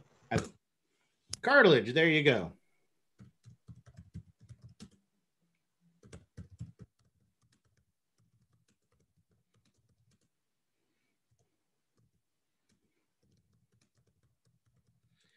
So cartilaginous uh, joint, we have the cartilage connective tissue holding the two bones together. And the fourth type is one you should be familiar with, a synovial joint, right? With the synovial joint, remember we talked about synovial joints when we talked about synovial membranes. So a synovial joint is the only joint that has a joint cavity, right? So the others don't have a joint cavity. And with the synovial joint, that cavity is surrounded by a synovial membrane. And what did that synovial membrane do again? Make fluid and Yeah, it made synovial fluid, right? And that synovial fluid basically uh, played an important role in lubricating that joint and fun things like that. All right. Questions on that? Again, it's just going to get worse from here. So if this doesn't make sense, let me know now. I want examples for all of them. Okay, we're getting there. I promise you we're getting there. But before we can get to examples, there's one more piece of information we need to add to this. With our structural classifications, most structural classifications, I want this to be read. have what we call specific types. And so we need to identify those specific types. And not only do we need to know those specific types, but as we also talked about, do we think that there is a relationship between the structure and the function? Yes. Yeah. Oh, this is a trick question and anonymous hate us. It's not a trick question. There absolutely is going to be a relationship between them. Yep, absolutely. So I need a little more space here. So sneak that up, sneak that up, sneak that up, sneak that up, and then that fits. Excellent. So let's start easy. A synostosis, where we have a piece of bone connective tissue holding two bones together. Do you think which of our three functional classifications do you think our synostosis would be? Arthrosis? Arthrosis? Yes, synarthrosis, absolutely. So all synostoses are synarthroses. Right? see how fun that is to say? Like you guys were talking about. While you're talking to grandma, tell her that too. She'll be incredibly impressed. Guess what, grandma? All synostoses are synarthritic. And she'll ooh and ah over that. Excellent. For our fibrous joints, there are three specific types. The first specific type is what is known as a suture.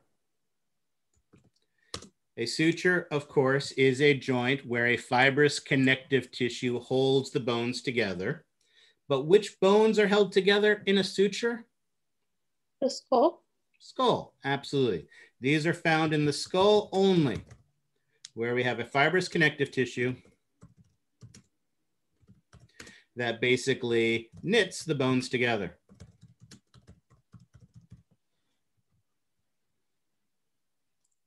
And because we know it is going to relate to the function, what do you think the functional classification of a suture is? Oops. What is the functional classification of a suture? Synarthrosis. Synarthrosis. There we go. The second specific type of fibrous joint is what we call a syndesmosis.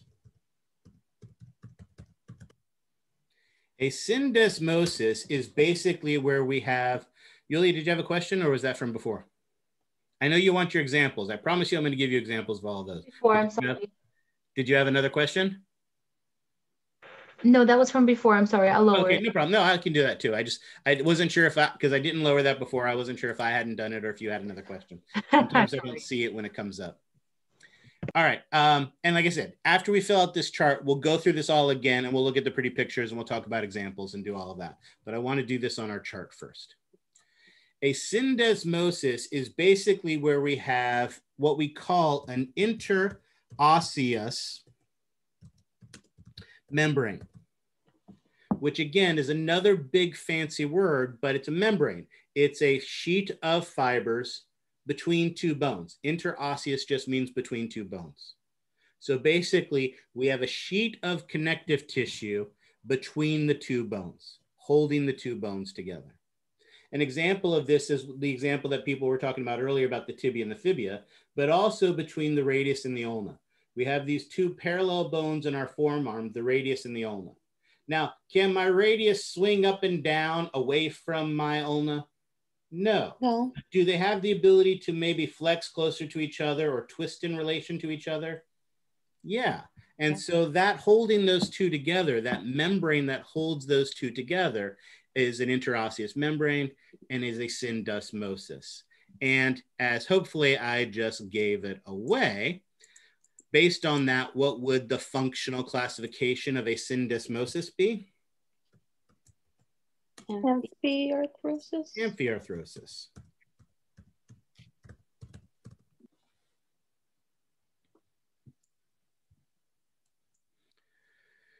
Excellent. Our third specific type of fibrous joint is my favorite to say.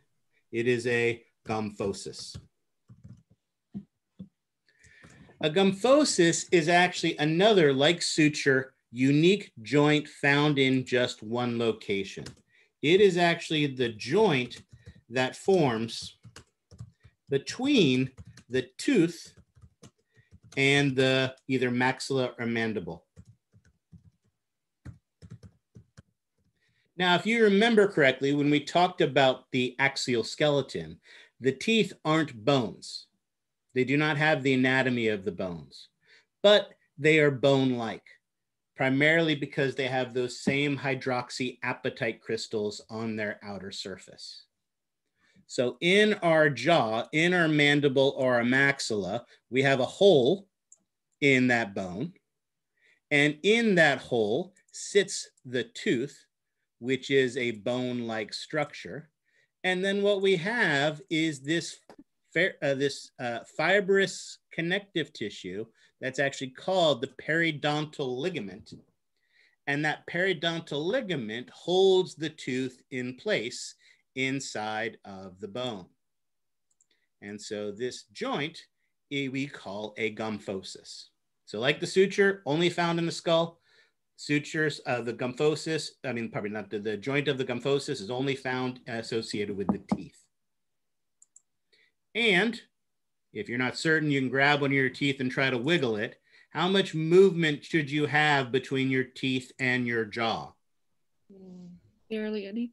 None. So what would the functional classification of a gomphosis be?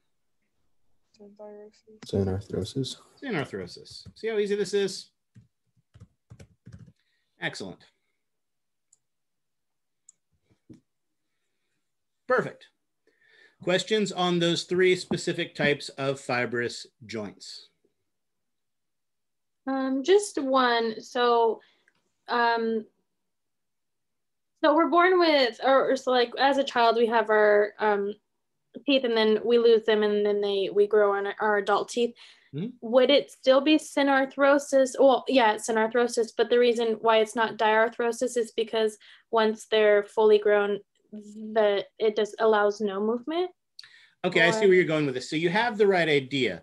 Uh, our our our baby teeth our deciduous teeth mm-hmm. do come out. However what you got to remember what's happening there is that the mature tooth is growing up underneath. And as that mature tooth is growing up underneath, what happens is it breaks down the root of the baby tooth and it breaks down the fibrous connective tissue that's holding it in place, making it loose, making it wobbly, making it fall out. Mm-hmm. So it falls out because basically the adult tooth that is growing up destroys the joint, destroys the connection, and the tooth falls out. Gotcha. Okay. Yep. Excellent. All right. Any other questions on our fibrous joints? All right. How many different types of cartilage do we have? Three. What are they? Elastic cartilage, fibrous cartilage, and Hyaline. That's what. Hyaline. There you go, hyaline cartilage. Excellent. So when we were making a joint with cartilage, would we necessarily want to use elastic cartilage? We would. Would you want to use the cartilage that's in your ear to hold two bones together? No. Probably not, exactly. So, not surprisingly, we only have two specific types of cartilaginous joints, and it's based on the type of cartilage.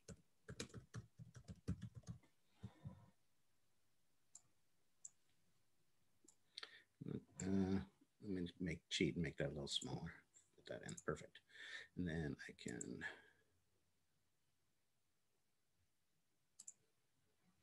The first is what we call a synchondrosis. A synchondrosis is a joint where the two bones are held together by hyaline cartilage.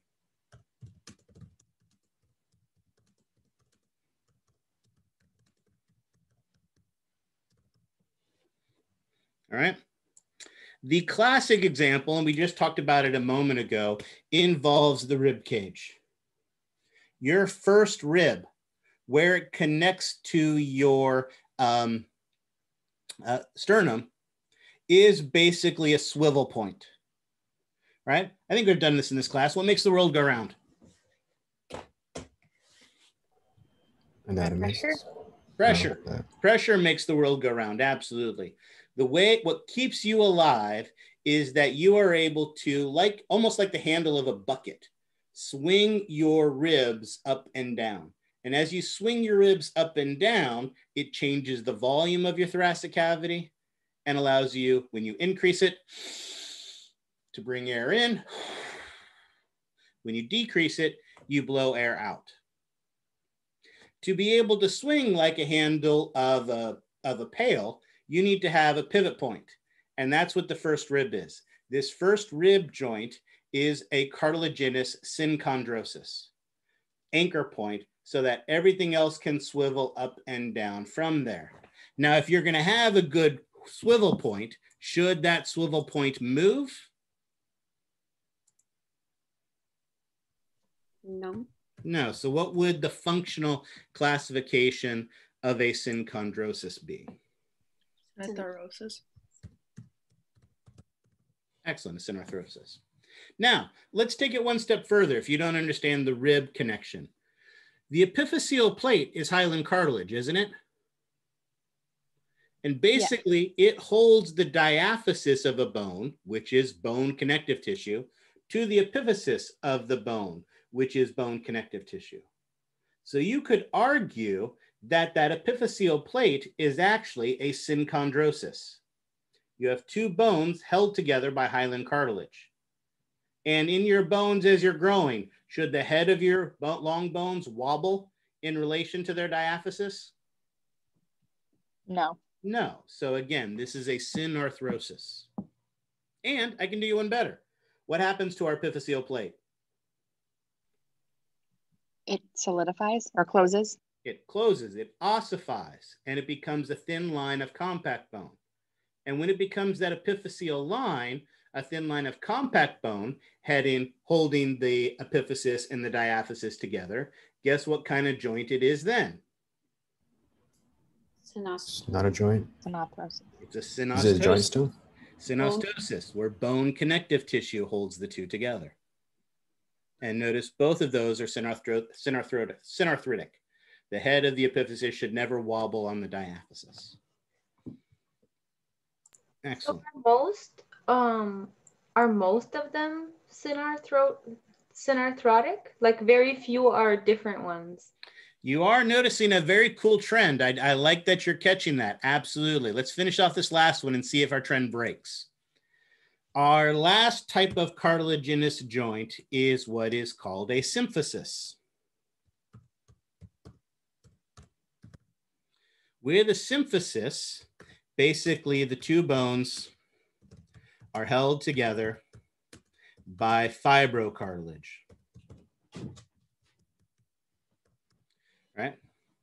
The classic example, as I mentioned, is that pubic symphysis, where we have that movement of the pelvis. But if you think about it, in between our vertebrae, we have chunks of fibrocartilage right? And we have limited movement of our vertebrae, but not free range movement, right? I can't bend my back halfway over 90 degrees or something like that, right? So again, we have these symphyses.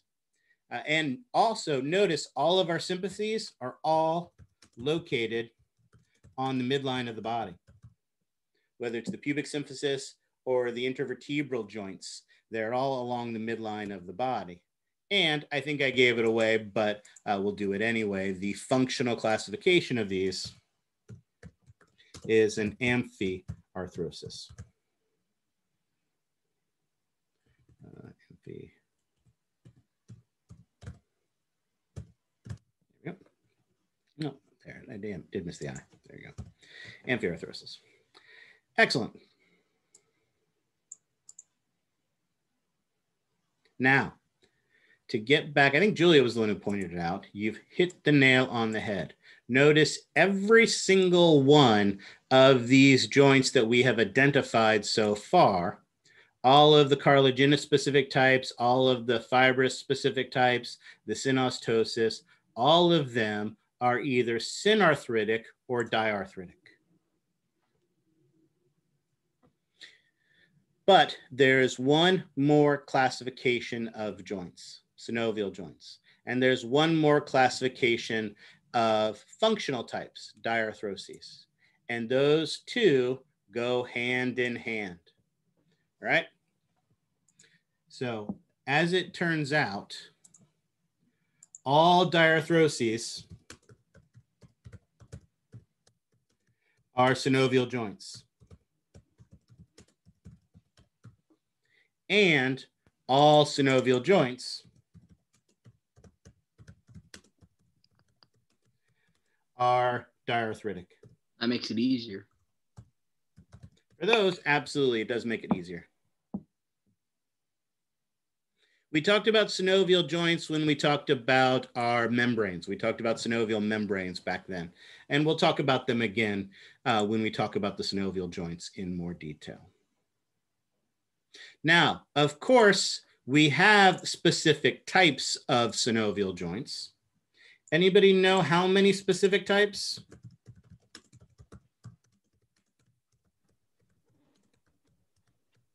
There's six of them? Six of them, absolutely.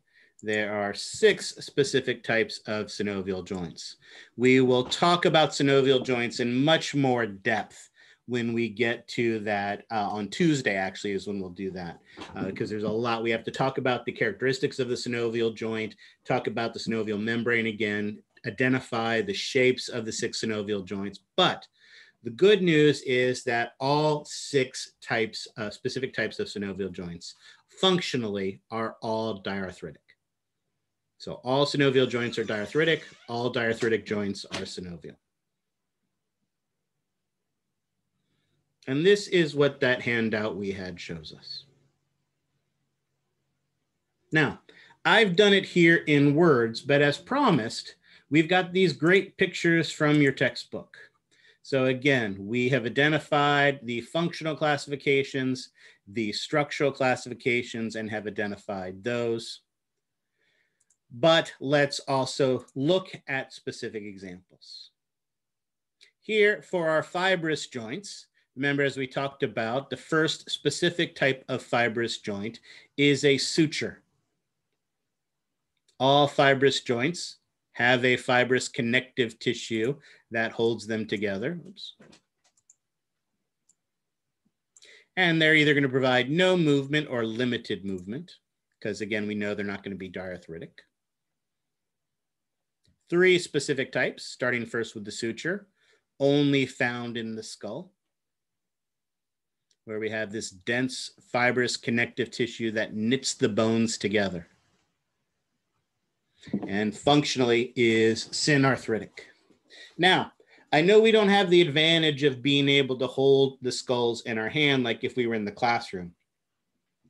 But if any of you have ever seen a skull or even looked at pictures of skulls on the internet, one of the things you may notice is it doesn't look like fibrous connective tissue that holds them together. Because what happens as we age is those collagen fibers start to collect calcium, start to produce hydroxyapatite crystals on them. And as we age, typically from about age 30 and up, those sutures have completely ossified and become bone. And of course, when they completely ossify and become bone, then technically they become synostosis, where we have a little bit of bone connective tissue that holds them together. And as we said, functionally, they are synarthritic. The second type is a syndesmosis. Notice, oh, actually, that's what I wanted to show you. Hold on.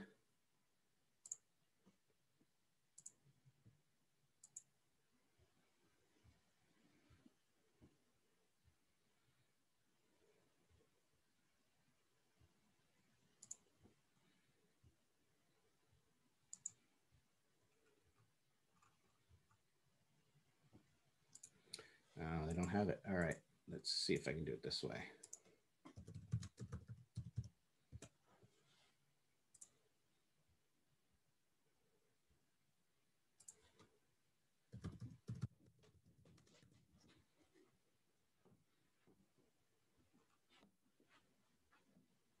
Oh, thanks.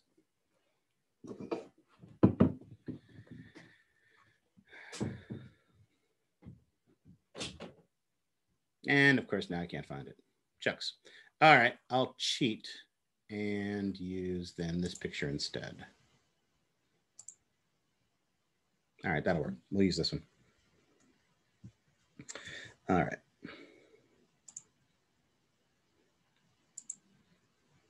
So our second type is a syndesmosis. This is where either a ligament or an interosseous membrane holds the bones together. Now, the example your book gives you is this one here, where you can see there's a little bit of a ligament that is holding the distal head of the fibia to the distal head of the tibia. However, I don't think this is the best example of this. I'll see if I can find our, our uh, chart from the classroom, uh, the, the site uh, for, um, for Cosumnes River didn't have it. But if we look at this bone picture here, what you will actually see on some of the charts is that there is this fibrous membrane between these two parallel bones. So you find it between the radius and the ulna, and you find it between the tibia and the fibula.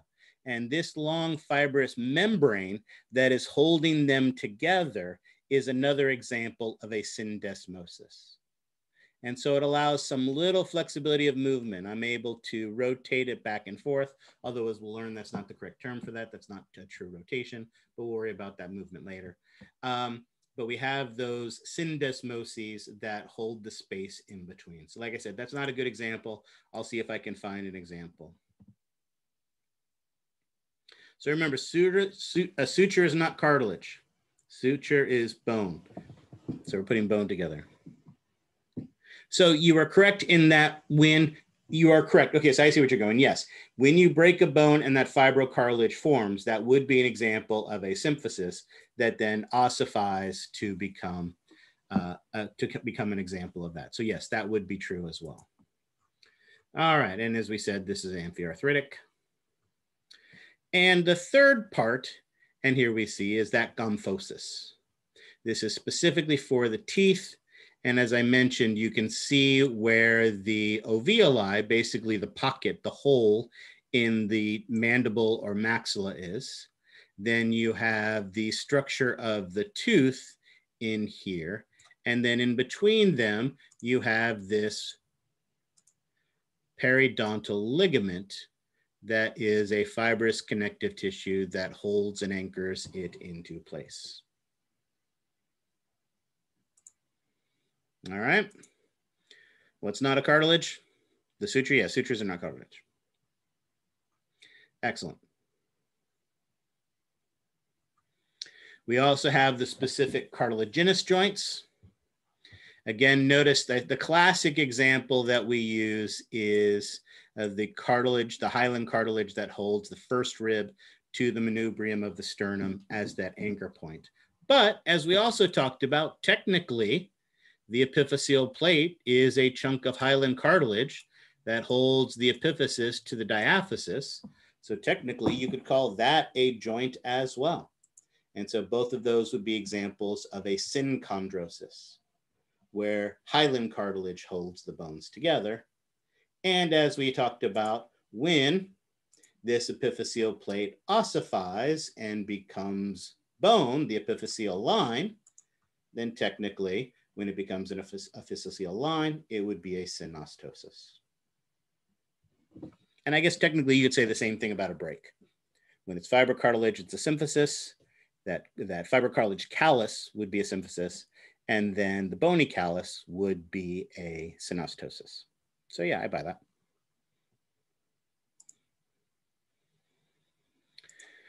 All right. Lastly, our last cartilaginous joint, again, is a symphysis, fibrocartilage, and here's that example I keep mentioning, that pubic symphysis that holds the, pel the two pubic bones together forming the pelvis. But the intervertebral discs between the vertebrae are also fibrocartilage. So those are also uh, examples of symphyses. And notice they're all along the midline. So we have those as well. So those are almost all of our specific types and structural types. Like I said, we do need to talk about our synovial joints, and there are indeed six specific types, but we need to talk some anatomy of the synovial joint first, then we can talk about the anatomy of the specific types, and then we can talk about the functions that they allow. So that is all the stuff that we are going to be doing on Tuesday. So this is everything that I wanted to cover for lecture today. So what we are left with is lab. All right, so any questions? Let's go back to this to look at while we uh, talk about this. So any questions on these definitions for our structural, our functional, or our specific types of joints? Actually, let's lie. Let's come back here to this picture. Because on the exam, I could have a big fat arrow and a picture like this, and I could point it right there to that region. And if you notice, there are basically three questions I could ask. I could ask you to identify the functional classification of this joint. And what would your answer to that be? Let's make my arrow bigger even though the picture is not bigger. But on the exam, if I had this arrow pointing to this region and I asked you for the functional classification of this joint, what would your answer be? Amphiarthrosis. Amphiarthrosis. Same picture, same arrow, but I asked you the structural classification. What would your answer be? Fibrous? Close not fibrous. What is it? That fibrous is a structural classification, but not this one. What's this one? Cartilaginous. Cartilaginous. Excellent. And then the third question I could ask you is identify the specific type of joint. What is the specific type of joint? Symphysis. Symphysis. There you go. It's just that simple. Those will be the three questions that I could ask when pointing at one of these joints. Structural classification, functional classification, specific type. So that's why something like this is useful. Something like this is useful, like the handout that I have on Canvas for you that does this exact same thing, puts all the pieces together and lets you help to appreciate and understand how these things relate to each other there isn't just one connective tissue that makes synovial joints. There are multiple connective tissues involved in making a synovial joint. So we'll define a synovial joint in general, and then also uh, talk about some specific examples of those on Thursday. So you're right. We're not done with this yet. We still have synovial joints to go, but we're saving that for Tuesday.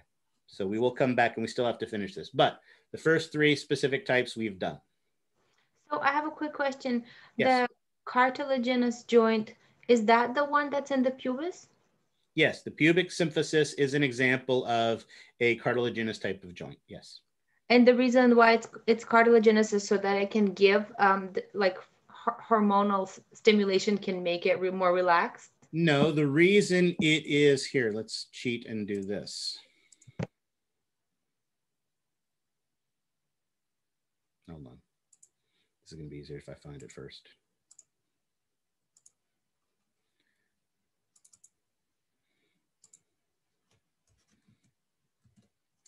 The reason it is cartilaginous is because when you look at this joint, what you see is that there are two bones, the left pubic bone and the right pubic bone, and those two bones are held together by a small chunk of fibrocartilage. So fibrocartilage holds the two bones together, and because it is a cartilage that holds the two bones together, it is a cartilaginous joint. It is a symphysis because the type of cartilage is fibrocartilage.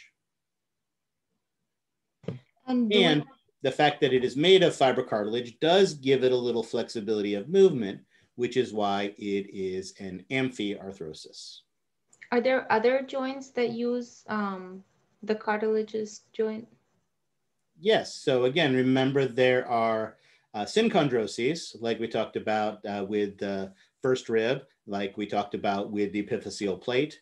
And we also talked about for other symphyses, the intervertebral discs are examples of those. Like I said, if you're having trouble with these, your book does a nice job of describing them as well. So you can look at those for more examples and things along those lines as well. So I would I would focus on that uh, and the handout and those other resources to help you to master this. All right. Any other questions? All right, excellent. We have four groups we have to get through today. Uh, so I want to make sure we have enough time from that. But uh, from the comments I've been hearing, I'm getting a sneaking suspicion that groups have not quite prepared as successfully as they should have for these presentations. Uh, so hopefully, uh, let's take a teeny bit of a longer break. It's 227 right now. Why don't we come back at 245? So at 245, we will come back. I will break you guys into your groups, give you some time to work together and prepare, and then we will start our group presentations at 245. So give me a minute to get, oops, no, I don't want to do that. But I do want to do that. Give me a minute to get the groups broken up, and then we'll go ahead and take our breaks and then start our group presentations. Remember, if you haven't found bones already, there is a bone handout that has all the appendicular bones on it inside of uh, Canvas, so you can always use that. And again, you don't have to have anything formally written out. Just show us the bone and you can draw your own arrows or use your highlighter to point at those things to make sense of it.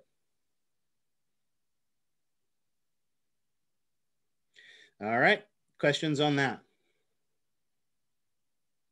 All right, I'll see you guys at, uh, actually I've used them most of the time. Let's, we'll make it 250, give you guys a little bit more time. We'll come back at 250. So give me in a minute and I will get that set up and we will do that.